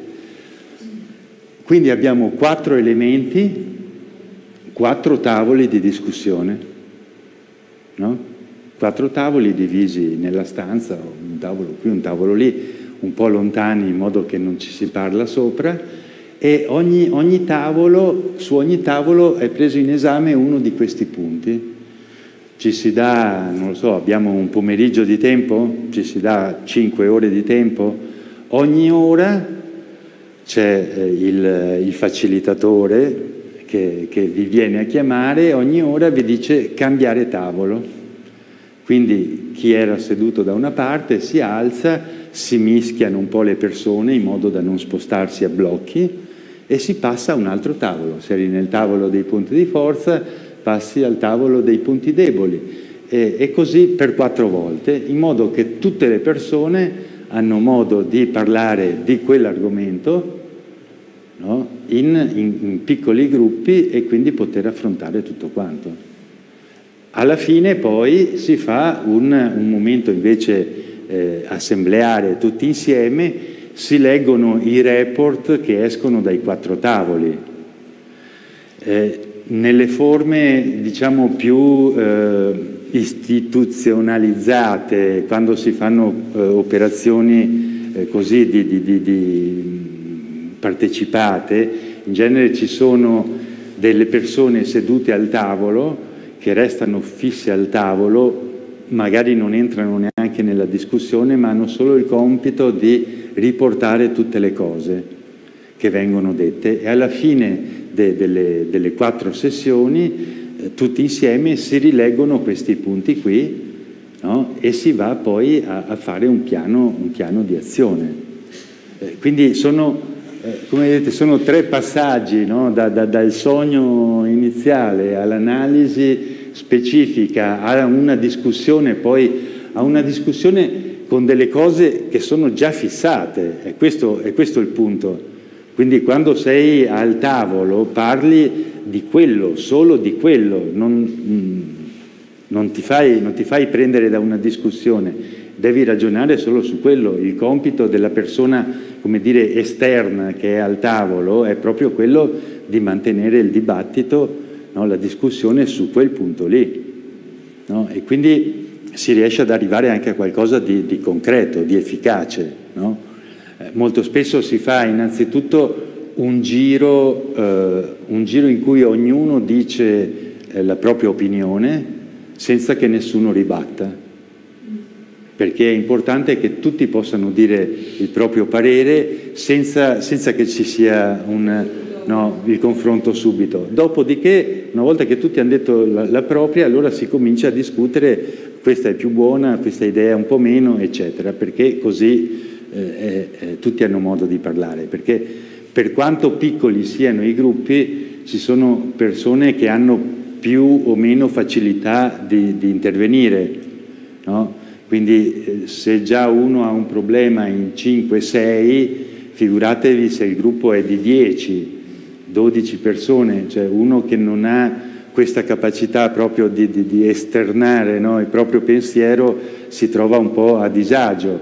E quindi invece se il primo giro viene fatto così, che tutti zitti e ognuno parla, intanto si risolve il problema e, e ognuno ha detto la sua, insomma, così di, diventa più facile. L'altra cosa che, che, bisogna fare in queste situazioni è, eh, come dire, avete mai sentito parlare dell'ascolto attivo?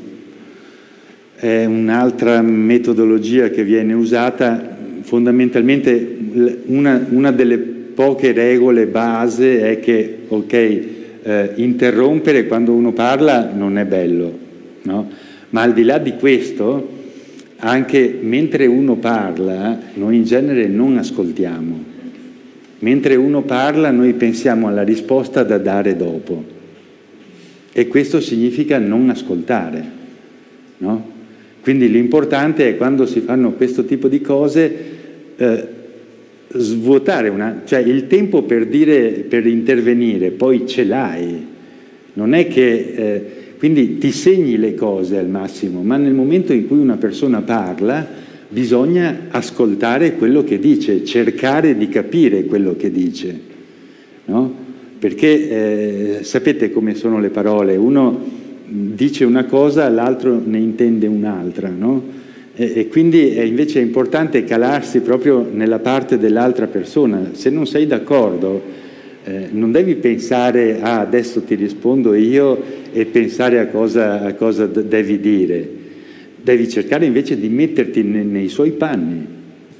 Non è detto, non è detto che, no, che eh, che, che abbia torto. Se ci pensi bene e se lo ascolti per bene, magari, magari ti fai convincere che la sua idea è migliore della tua. Se tu invece pensi a quello che devi dire tu, tranquillo che eh, non, non, non, lo, lo, non, lo, capirai mai. Insomma. Quindi un, tutta una serie di meccanismi che eh, gestiti appunto da delle persone è, è più facile poi che, che portino dei risultati concreti. Molto spesso per, per, praticità si fa che ad esempio questa persona che scrive il report no, è una del gruppo. Non è, non è bellissimo perché toglie comunque questa persona dalla discussione, nel senso che sta lì fermo al tavolo per tutte e quattro le sessioni e alla fine, alla fine se aveva qualche idea no, su, su, su, un punto diverso non, la sua non viene fuori.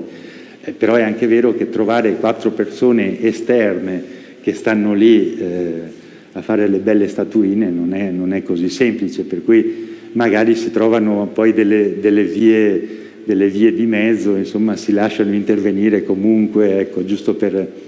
E questo qui, eh, questo è molto positivo perché eh, appunto ti porta poi abbastanza velocemente anche ad avere qualcosa di concreto in mano.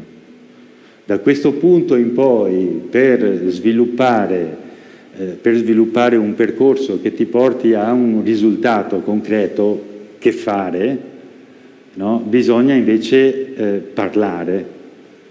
Lì a quel punto la discussione va fatta per forza, cioè quando abbiamo discusso sui punti di forza, i punti deboli, quindi a quel punto bisogna cercare poi le soluzioni da fare, no? le soluzioni da portare avanti. Allora conviene ad esempio eh, gestir, gestirlo sempre, si può fare ad esempio con un focus group. Un focus group è 8-10 persone al massimo che si ritrovano in questa sala, eh, io mi preparo delle domande rispetto a una, a una di queste quattro parti, eh, mi preparo delle domande eh, che portino a una conclusione, che portino a qualcosa di concreto da fare. No? E poi vi faccio le domande a voi che siete lì. Anche lì stesso discorso, non si discute, ma si propone. Quindi non c'è un confronto, oppure ci può scappare il confronto, ma l'importante è che le persone vengano stimolate a produrre delle, delle proposte. No? E c'è una persona accanto che prende nota di tutto. Quindi non, è, non, non, hai tempo, bisogno di scriverti o di fare le cose, basta che parli, no? basta che ascolti quando parlano gli altri e poi quando è il tuo, è il tuo turno parli tu. In questo modo, in questo modo stimoli, stimoli, la discussione perché, perché se, se, se diventa un dibattito se diventa un dibattito perdi il filo. No? Se invece ognuno è tenuto a rispondere a quella domanda, ognuno risponde a quella domanda a turno, poi casomai si discute, sono d'accordo o non sono d'accordo, però l'importante è che prima vengano fuori le cose che uno ha da dire, la propria proposta. No? Cioè perdere, perdere, il filo per rispondere alla, alla proposta di una persona e dirgli non sono d'accordo in termini di, di, produzione di un risultato, di qualcosa di concreto, è zero. No? Se, se, tu invece vieni tenuto proprio, come dire, a freno, lo so, sembra un po' limitante forse, no? però eh, valutiamo sempre l'efficacia delle cose. Cioè, eh, ripeto, discussioni, eh, no? discussioni fiume su un aspetto, una serata spesa per un incontro, poi alla fine esci stremato e non ti sei neanche detto che cosa è la prima cosa da fare. No? Non ti sei neanche detto al prossimo incontro di che cosa parliamo. È, è, abbastanza, cioè, è abbastanza, pesante, nel senso che devi, devi comunque, eh, se, se, hai dei risultati, eh, se vedi qualcosa di concreto, se vedi che il lavoro va avanti, sei molto più portato, no? è un risultato che comunque ottieni, quindi sei anche portato a proseguire poi in questo lavoro. Se no, se con, si continua a parlare di aria fritta, dopo un po', no? cioè, sono queste cose, magari io ho visto spessissimo dei gruppi partire numerosissimi, dopo al terzo incontro cioè, non c'era il numero minimo legale, nel senso che anche se non era legale non, cioè, erano due persone quindi è, è, importante concentrarsi su questi aspetti per riuscire poi a ottenere qualcosa, qualcosa di concreto. Adesso questo, questo molto, ve l'ho fatta molto, molto veloce, ognuno di questi aspetti, ognuno di queste metodologie ha, eh, come dire, ha proprio dei, delle cose che lo illustrano, casomai vi giro il file, sono, sono molto semplici, eh, nel senso io ve le ho descritte proprio nei termini minimi ma eh, spero che abbiate capito come, come funziona, ecco, non è niente di particolare. Naturalmente gestita, gestita bene ha, dà dei buoni risultati, ecco. quindi eh, poi vi girerò i file e, e, così voi avrete modo di leggerli e di, di arrivare magari a usarli, usarli appena possibile. Questo qui, questo qui, ad esempio, vale anche, si può fare anche da soli. Questo si può fare anche da soli e vi giuro che non siamo abituati a fare questo, questo, questo ragionamento.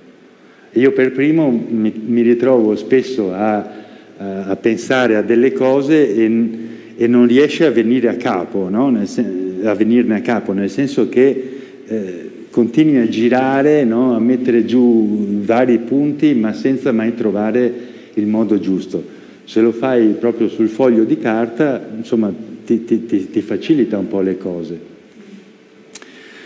Bene, come elemento poi di... di quello è, è un, una cosa molto più da grandi numeri, volendo è anche molto coinvolgente, è ad esempio l'open space technology. Non so se l'avete fatto in questo progetto di urbanistica. Quello è, eh, è, veramente il massimo dal punto di vista della creatività. No? Su un dato argomento, eh, su un dato argomento in genere è una domanda, no? È una domanda perché eh, la domanda stimola delle risposte, naturalmente. Una domanda il più ampia possibile che non, che non concentri la discussione su un unico punto. No? Una domanda molto ampia, ci vuole, ci vuole una giornata di tempo, minimo, minimo ci vuole una giornata di tempo, perché c'è questo momento assembleare iniziale in cui si, si descrive tutta l'operazione, il, il, punto centrale è il momento in cui eh, tu guardi il muro dove c'è il programma di lavori e non c'è niente, no?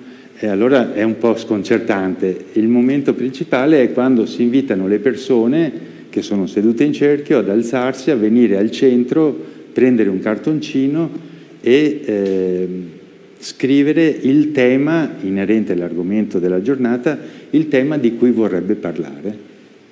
No? Si aspetta un po' finché tutti hanno hanno dire, proposto l'argomento di discussione che gli sta più a cuore, se qualcuno non vuole scrivere niente o proporre niente non propone niente, se qualcuno ha due o tre temi, ha due o tre temi, tutto molto libero. No?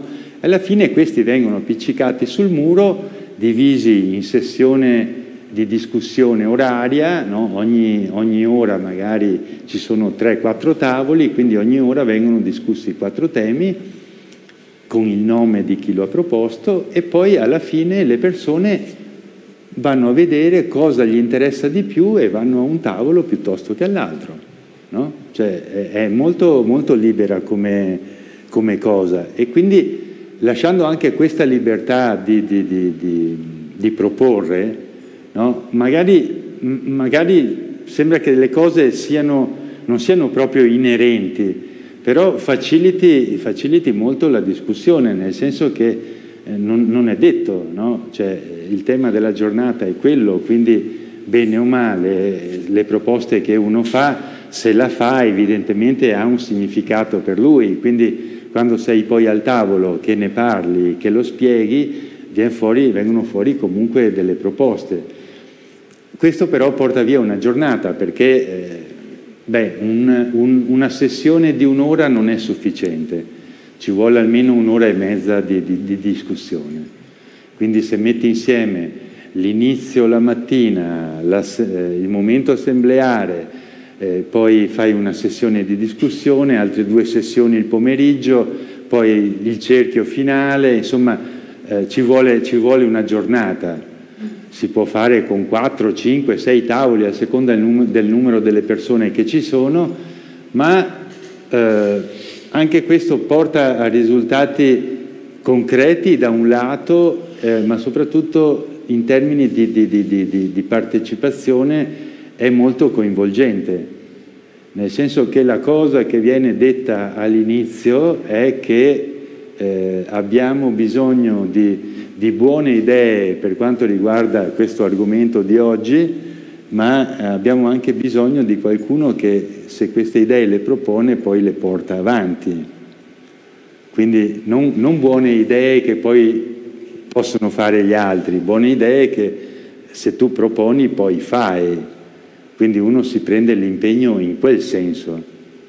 No? Allora eh, diventa, cioè, non dico che uno se ne sta zitto, però insomma ti, ti, devi anche poi prendere la responsabilità, no? cioè partecipi, proponi, poi dopo la responsabilità è la tua. Poi dopo lì con un metodo proprio di, di action planning si va a fare anche una sorta di, di scelta di quali argomenti hanno avuto più, più successo no? e quindi a formare dei gruppi di lavoro. È, è abbastanza complicato anche in termini di preparazione eh, si fa ad esempio nell'urbanistica partecipata, ma anche per altre cose si arriva a fare con numeri di 200-300 persone. Quindi provate a pensare a mettere insieme eh, una struttura con abbastanza spazi per, per, per far discutere tutti. Cioè, normalmente le proposte che vengono dalle persone sono circa il, il 40% dei presenti cioè, se hai 100 persone ti vengono, ti vengono fatte almeno 40 proposte di discussione. Quindi 40 proposte da discutere in una giornata significa che devi avere uno, uno spazio abbastanza ampio. Però sono, sono molto efficaci e soprattutto eh, dire, danno un po' il segnale alle persone come dire, comuni, no? alle persone normali, che forse a, a qualcosa puoi partecipare, che in qualche modo puoi dire la tua, no? cosa che invece eh, normalmente non succede. Quello che la gente dice quasi sempre è che sì, sì, ma tanto che, che discutiamo a fare, che tanto poi le decisioni vengono prese da un'altra parte. Questa cosa qui, ad esempio, quando si va a preparare questo tipo di azione con un'amministrazione, io almeno da parte mia l'unica cosa che chiedo all'amministrazione se decide di farlo è che se decide di farlo poi deve tener conto di quello che esce. Cioè non, non, io cioè non ci metto il mio nome se tu pensi di tirare un bidone. Cioè se tu promuovi questa cosa che ha bisogno di tutta una preparazione, no? di informare le persone, di dargli anche un minimo di documentazione, di informazioni su quell'argomento, fai tutto questo lavoro e poi alla fine, ah sì, bello, bello, però noi abbiamo già, abbiamo già deciso in un altro modo, allora quello è veramente prendere in giro, prendere in giro le persone, insomma. Ecco, questo a brevi linee è quello, quello che si può fare. Se poi avete un argomento, domani potremmo provare a fare un piccolo world caffè così ci, ci gestiamo, individu individuiamo un argomento e ci facciamo anche una cosa veloce, eh, tanto non servono quattro tavoli, se ne possono anche fare tre, giusto per... Giusto per oppure se si, è, se si è in molti si può fare anche che ci sono più tavoli che discutono gli stessi tre temi, cioè sei tavoli, no, due a due discutono lo stesso tema in modo che tutti, tutti riescono a girare. L'importante è girare e mischiarsi perché, perché poi parli con persone diverse. Se ti muovi in blocco da un tavolo all'altro perdi, perde proprio tutto il, il bello della, della situazione. Insomma. Va bene.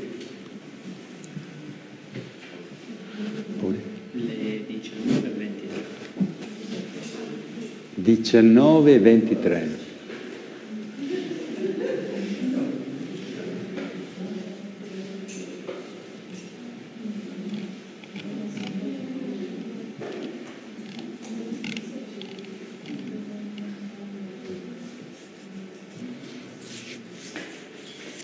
Parliamo un po' di cooperative?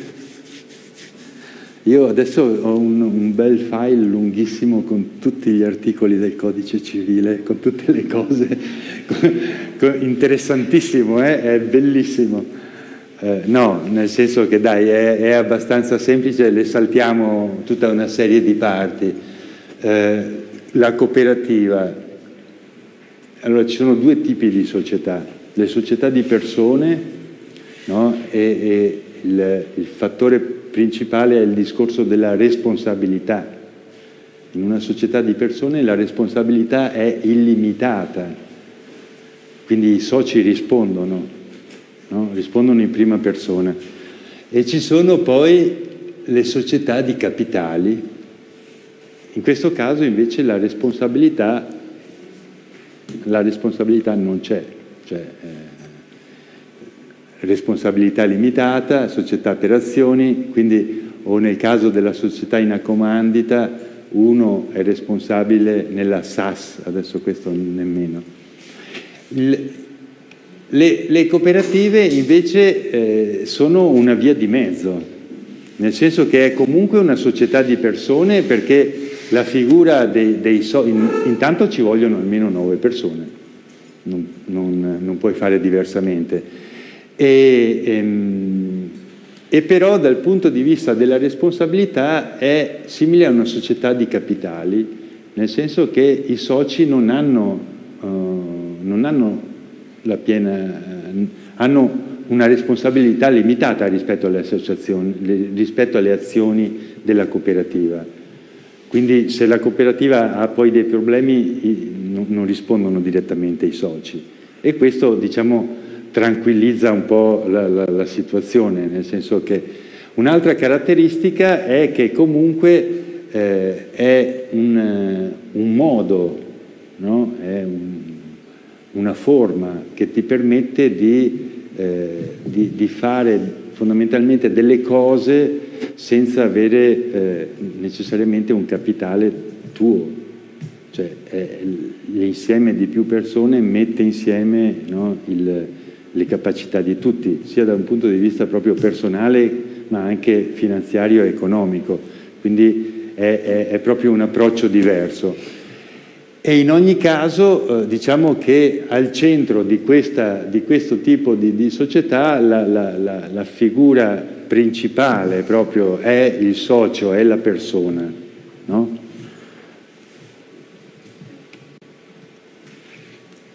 È la persona e eh, lo scopo mutualistico. È questo che dicevo anche prima, che secondo me le cooperative hanno un po' perso nel tempo. Cioè se voi andate a vedere gli statuti delle cooperative sono più o meno tutti uguali e tutti quanti parlano dello scopo mutualistico, non c'è, verso, cioè, tutti quanti ce l'hanno dentro, deve esserci per forza, no? ma un conto è, è che poi sia realmente così. Cioè, come dicevo, si perde un po' di vista questa cosa. No? E soprattutto, eh, dal mio punto di vista, eh, una, una, cooperativa non dovrebbe nemmeno eh, equipararsi a una società di persone o di capitali, nel senso che hai una funzione completamente diversa. Certo, sei sul mercato, ma la tua attenzione non è quella di produrre utile. La tua, la tua funzione è quella di curare la figura del socio, no? la crescita del socio. Cioè, eh, se, se, andiamo a, alle origini delle cooperative, fine 800, ma poi anche, anche agli inizi del Novecento, eh, queste cose nascevano proprio per l'esigenza, certo, di, eh, dire, di, fare insieme delle cose in modo più efficace. No? Le prime cooperative nate in Inghilterra, la prima cooperativa nata in Inghilterra eh, era, serviva a comprare la farina insieme e, e avere dei prezzi migliori no? quindi era proprio molto, molto reale come cosa. Le, le, le, prime cooperative di braccianti fondamentalmente avevano il compito di organizzare il lavoro de, dei propri soci e di avere un maggior potere di, di, di, di confronto con i proprietari terrieri no? o di eh, occupare dei terreni e lavorarli insieme. No? E, e questo era il modo migliore, ma perché? Perché presupponeva comunque un miglioramento della qualità della vita. E poi, eh, ripeto, poi eh, la, la, la, la, società cooperativa è diventata una, un modo come un altro per aggirare degli ostacoli o per avere modo di organizzare meglio il lavoro di qualche centinaio di persone no? e molto spesso eh, pagarle anche male. Cioè, eh, ci sono cooperative che sono cooperative sulla carta, nei fatti sono amministrate da, da, da due o tre persone no? e quindi non c'è un interesse collettivo dietro, c'è un interesse privato. Ma, ma questo, è, questo è, dire, è, è, un problema poi delle persone che ci sono dentro. No? Eh, nella, nel, nello statuto delle cooperative queste cose ci sono sempre, no? Capitale variabile perché naturalmente in base al numero dei soci eh, varia il capitale, i soci si possono iscrivere in continuazione e, e quello è il capitale sociale ed è una, una, una cifra, una quota che va eh, come dire, messa da parte, riservata, è il capitale dell'azienda. no? E poi lo scopo mutualistico lo scopo mutualistico che è, è, che è fondamentale.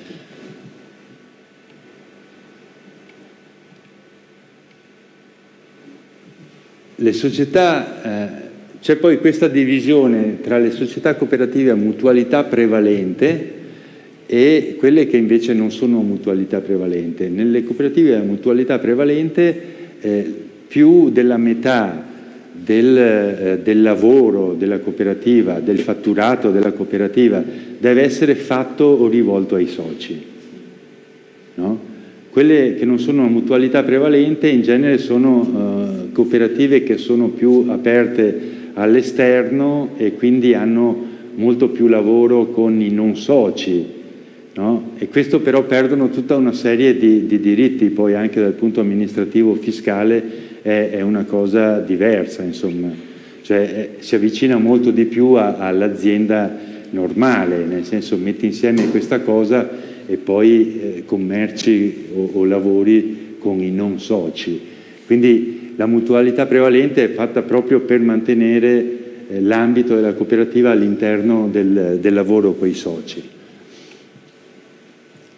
Va bene, qui saltiamo mutualità prevalente, poi questo vi do tutto così voi...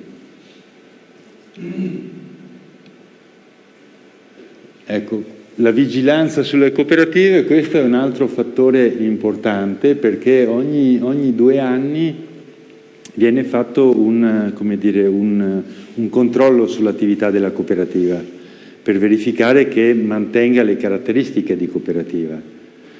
Allora è, è una cosa che un'ispezione che dovrebbe essere fatta dal, dal Ministero, ma il Ministero demanda alle organizzazioni di categoria, quindi le, le varie conf cooperative, Lega Coop, eccetera, lo, lo, possono fare loro. Per cui in genere eh, quando si forma una cooperativa eh, conviene farlo eh, all'interno di una di queste associazioni, in modo che poi eh, tutto sommato è l'associazione a cui sei iscritto a fare l'ispezione, a fare il controllo. Anche lì è un po', è un po banale, insomma, tu fai parte, paghi credo 200-300 euro all'anno tipo a questa, a questa associazione che poi dopo ti fa il controllo e ti dice che è tutto in ordine, ma ci mancherebbe altro, dopo che, dopo che la paghi ti diranno sicuramente di sì. Però ecco, è una cosa che comunque sono tenuti, sono tenuti a fare, insomma, e, e che conviene, e, e conviene fare l'associazione, perché poi obiettivamente se viene qualcuno di esterno non, non si sa mai come, come va a finire. Società a porta aperta perché appunto eh, tutta, l'entrata o l'uscita dei soci non può essere, eh, non può essere dire, bloccata, cioè non c'è un numero chiuso e non c'è neanche il fatto che tu non possa uscire da questa cooperativa. No? Capitale variabile abbiamo detto, assemblea, consigli Qui su tutti gli, gli, gli articoli, poi voi ve li, ve li guardate così con calma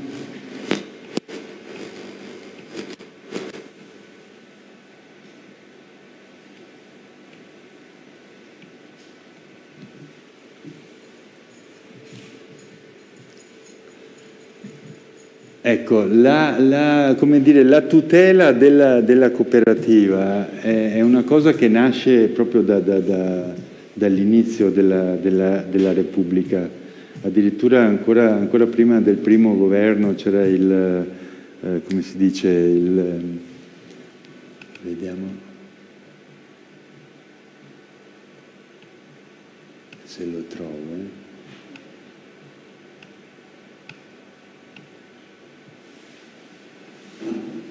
Ecco, vedete, il capo provvisorio dello Stato, quindi nel 1947, fecero questa legge sulla disciplina delle cooperative sociali, proprio fin dall'inizio è stata, è stata eh, c'è anche nella, nella Costituzione, l'articolo 45 della Costituzione proprio specifico sulle cooperative, quindi è stato un indirizzo che è stato proprio dato fin da subito, no?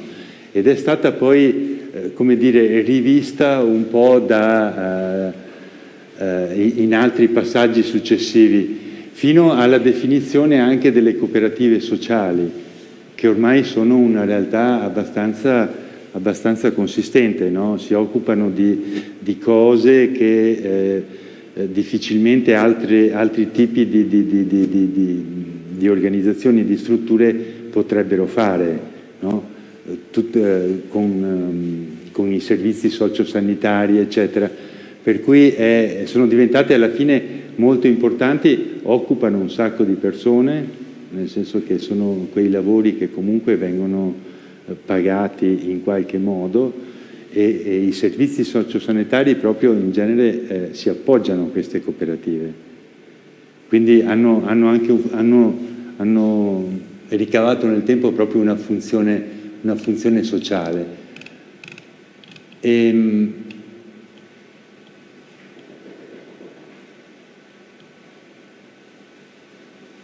Questi sono un po' le, le, le, gli articoli su, che si applicano alla società cooperativa, proprio perché da un lato sono simili alle società di capitali e quindi si avvicinano a SPA e SRL, e però poi hanno una, una, una loro um, definizione particolare, no? E quindi sono state fatte nel tempo tutta una serie di passaggi e di, di leggi diverse per per riuscire a definirle, a definirle sempre meglio. Diciamo che sono, sono privilegiate, questo, questo sì, anche se in termini reali nel tempo i privilegi che c'erano, stati eh, si, sono, si, sono, comunque persi, proprio perché si è visto che eh, questo aspetto mutualistico no, eh, si perdeva sempre di più e sempre di più diventavano poi eh, come dire, delle, delle, società, delle SPA mascherate, no? delle SRL mascherate. non è, una, non è un aspetto, quello delle, del, della cooperazione, che riguarda una o l'altra parte politica. No? Esistono, sono, esistevano all'inizio cooperative bianche e cooperative rosse. Quando pochi anni fa, un, negli ultimi governi, si era cominciato a parlare di togliere no, tutti questi benefici alle cooperative, eh, eh, chi, chi, aveva proposto questa cosa è poi tornato subito indietro, nel senso che la distribuzione proprio delle, delle cooperative controllate da uno o dall'altra parte politica era tale che eh, qualsiasi intervento che, che era stato pensato per incidere no, contro un sistema che poi rappresentava eh, una parte o l'altra, in realtà era, andava poi a toccare anche i propri interessi, quindi è, è abbastanza diffusa. No? Eh, come numero di cooperative ce n'è una quantità enorme in totale. In agricoltura, in agricoltura la parte più eh, consistente della cooperazione è poi quella che si realizza per la trasformazione dei prodotti. Quello è proprio eh, dire, il, il settore che, che, che, coinvolge più persone. Pensiamo ai frantoi, alle, alle cantine sociali, no? a tutto questo tipo di, eh, di attività che eh, obiettivamente fa un po' il lavoro che dicevamo, che dicevamo prima, no? cioè di raccogliere un po' eh, tutte le, le, le, piccole realtà che trovano poi modo di avere dire, la commercializzazione dell'olio, una volta eh, lavorato, in comune no? e quindi anche di riuscire ad avere un minimo di potere di, di, di, di gestione no? di questo materiale. Eh, le cooperative come erano state pensate all'inizio agrarie che ehm, eh, si occupavano un po' di, eh, eh, della lavorazione dei terreni in realtà sono la parte, la parte, proprio meno rappresentata, nel senso che è un tipo di, di cosa che non si fa molto. No? Cioè, avere, mettere in comune i terreni per lavorarli insieme o fare la cooperativa che prende un, un, un podere, un'azienda e la lavora insieme non, non, è, non è una cosa molto consueta. Esistono alcuni casi, ma si configurano per lo più come eh, cooperative di servizi che comprendono, non lo so, eh, sia il consorzio agrario che vende eh, i materiali per l'agricoltura, eh, come i terzisti che lavorano, che lavorano poi ter altre terre di altri. No? Esistono alcuni casi di eh, agricoltori che hanno messo insieme, invece di comprare le macchine per fare il servizio da terzista, hanno messo insieme le terre e hanno unificato l'azienda, ad esempio. No? E questo ha degli aspetti, dei risvolti sia in termini pratici come minori costi di macchine. Cioè una macchina può lavorare 10 aziende anziché avere 10 macchine, una per azienda, no? E sia in termini poi finali perché a quel punto la vendita dei prodotti, eh, cioè, eh, raccol i raccolti hanno dimensioni tali che comincia ad avere un minimo di potere contrattuale. No? E quindi era una forma che probabilmente all'inizio aveva aveva un qualche significato, ma poi col tempo col tempo si è perso perché si è sempre cercato di spingere nella direzione di ingrandire le aziende no? e di fare in modo che ogni azienda fosse come dire autosufficiente quindi hai una grande azienda a quel punto devi avere tutte le macchine che ti servono eh, senza pensare che poi una mietitrebbia la usi una volta l'anno no? cioè quanto, quanto vuoi fartela durare perché si ripaghi devi per forza andare a lavorare fuori quindi diventa un meccanismo un po' che si insegue. E, ehm, queste sono le, le, due, le, due, forme principali. Un'altra forma che invece ha eh, soprattutto... Posso farti una domanda? Sì. Okay. Eh, siccome eh, soprattutto ieri eh, le persone hanno chiesto eh, di fare riferimenti a quello che si può fare con l'agricoltura naturale. Tu come vedresti una cooperativa che nasce per cercare di mettere in atto quelli che sono i principi di un'agricoltura naturale che quindi si basa meno su mezzi meccanici, che vuole recuperare biodiversità, che vuole utilizzare vecchie sementi, che vuole in qualche maniera ehm, utilizzare persone e che hanno come insomma, fine ultimo la terra e il beneficio della terra e della loro salute. Beh, eh, di, direi che eh, tolte le aspettative che ognuno di noi può avere poi sul, eh, sui risultati economici, no? che però non sono tutto nella vita. La, la cooperativa è eh, fatta nel modo, nel modo, proprio classico, quello, quello vero è la, la forma che ti facilita di più questo tipo di lavoro. Cioè se tu parti con questi presupposti e cerchi di fare qualcosa di altro, di diverso, eh, obiettivamente e probabilmente non temi neanche che nelle fasi iniziali il tuo reddito non possa essere tra i più alti, no? hai in mente qualcos'altro, hai in mente ad esempio che quel, quel quel carattere mutualistico possa essere molto più importante no, di una certa somma di denaro.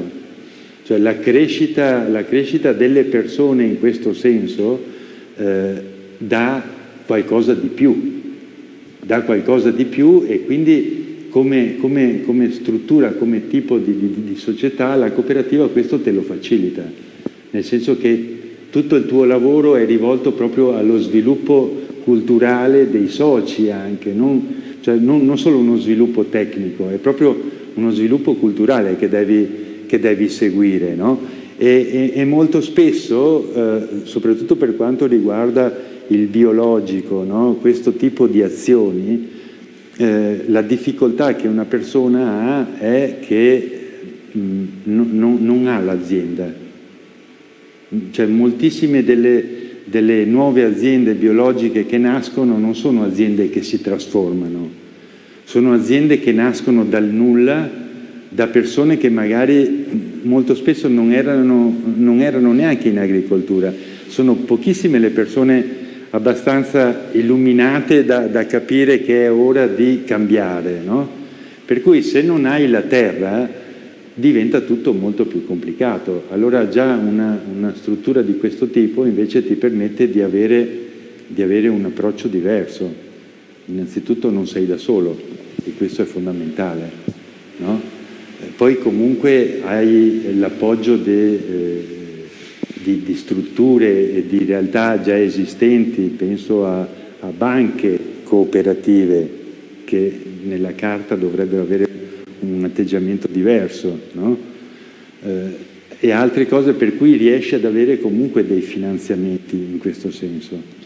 E un'altra cosa, eh, siccome ieri abbiamo imparato che nell'ambito dei finanziamenti se non sei un coltivatore diretto e quindi paghi i contributi, eh, cioè paghi per la tua pensione, tutto questo, non, non hai accesso se, come dici tu, per creare una cooperativa di quel genere noi mettiamo in conto che non avremo un ritorno economico, perlomeno non nel primo periodo, come noi possiamo pagare i nostri contributi pensionistici consapevoli che noi stiamo semplicemente sacrificando il nostro tempo per costruire qualcosa in cui noi crediamo che non ci dà ritorno economico. A quel punto come facciamo a costituire una cooperativa se non abbiamo i soldi?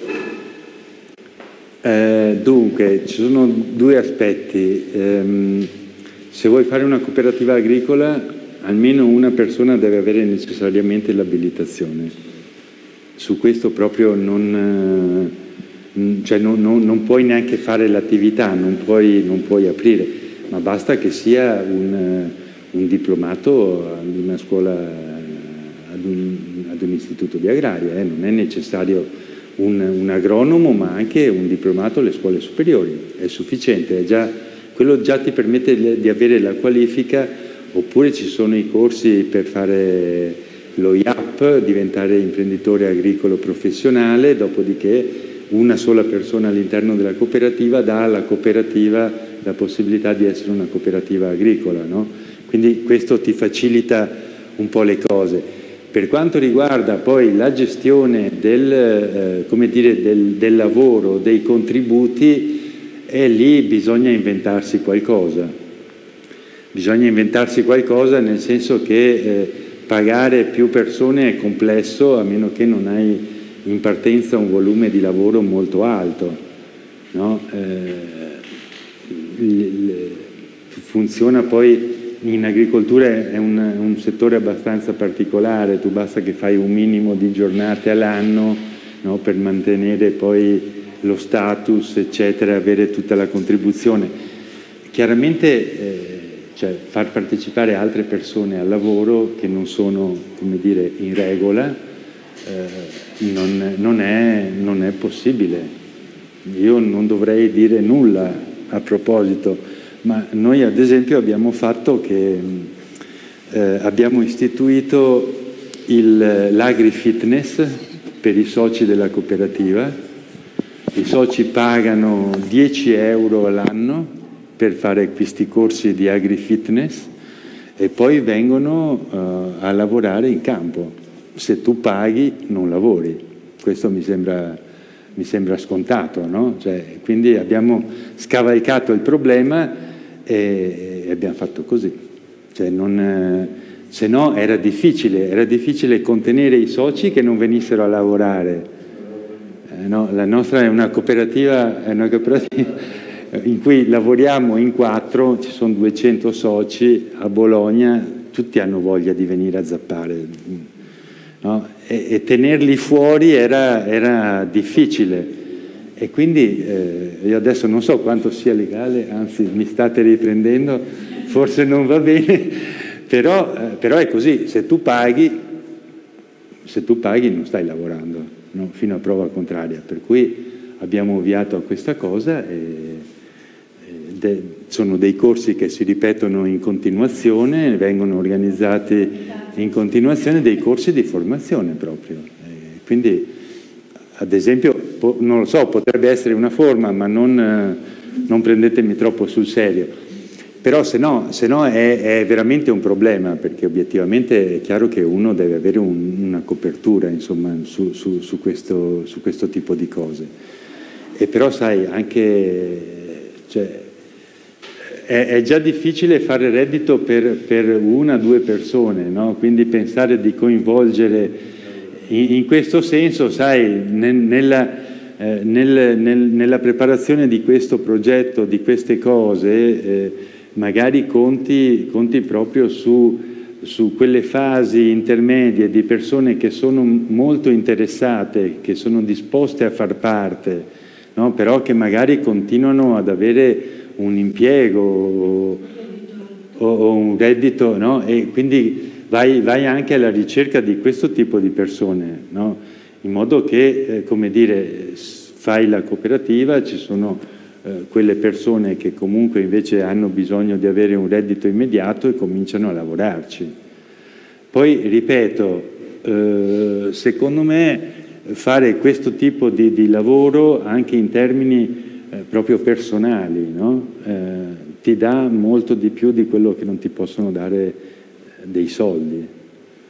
Cioè questa, fare questo lavoro anche proprio di formazione delle persone eh, ha, ha, comunque un valore, ha comunque un valore. Eh, adesso poi ne, ne, riparliamo quando vi farò poi la presentazione della nostra cooperativa, ma eh, noi siamo in quattro che lavoriamo, ci siamo autoridotti lo stipendio e guadagniamo 420 euro al mese. E questo è, questo è quanto si può permettere la cooperativa in questo momento. Eh, diversamente... Eh? spese... Eh. Ah, sì, sì, al netto delle tasse, sì. Eh, se vuoi fare il pareggio eh, c'è poco da fare, da qualche parte li devi... Eh, però ti dico, cioè, eh, la spinta che c'è dietro, no? cioè, fai le cose proprio per, per, passione, insomma, nel senso che... E quindi se il, se il, se il coinvolgimento è a quel livello... Eh, Adesso è chiaro che i soldi servono, però insomma, si riesce anche a ridurre al minimo eh, le necessità no? e, a spendere, e, a spendere, di meno, senza contare che poi hai tutta la verdura che vuoi, quello sì, ma, ma, ma, ma tanto più di tanto non, non, se ne fa, insomma. No, no, è così. No, questa cosa qui comunque poi ve ne parlo eh, dunque domani, no, dopodomani, che ho proprio la presentazione con, eh, con tutti gli aspetti, perché da, da qualche punto di vista è, è, anche un po' innovativa. Abbiamo introdotto una figura di socio diversa proprio per permettere al socio di eh, ottenere i servizi senza prestare nessun tipo di, di, di, di lavoro. No? E quindi abbiamo cercato di adattarla un po' e soprattutto ispirandoci a delle forme eh, che esistono in moltissimi paesi, Nord Europa, Stati Uniti, e che sono le, le comunità che supportano l'agricoltura. Quindi dei gruppi di persone il cui, il, i soci, poi in questo caso, il cui fine non è tanto quello di comprare le verdure, ma di sostenere il contadino che ci lavora. No? Quindi è, è diverso è diverso, nel senso che lì c'è una persona che, eh, che lavora per te, no? la decisione su tutte le cose da fare, su che cosa piantare, viene presa in assemblea. Insomma, è un funzionamento particolare.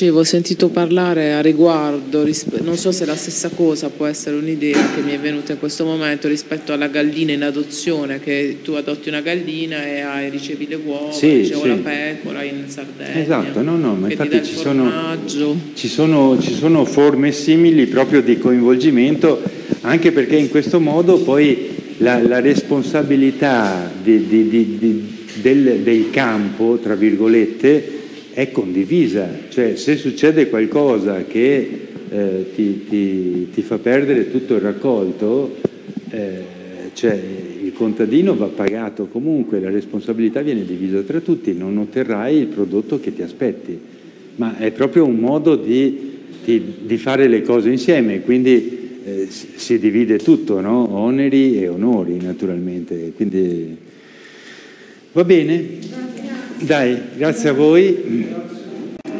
Ci, ci vediamo. Ci vediamo domani.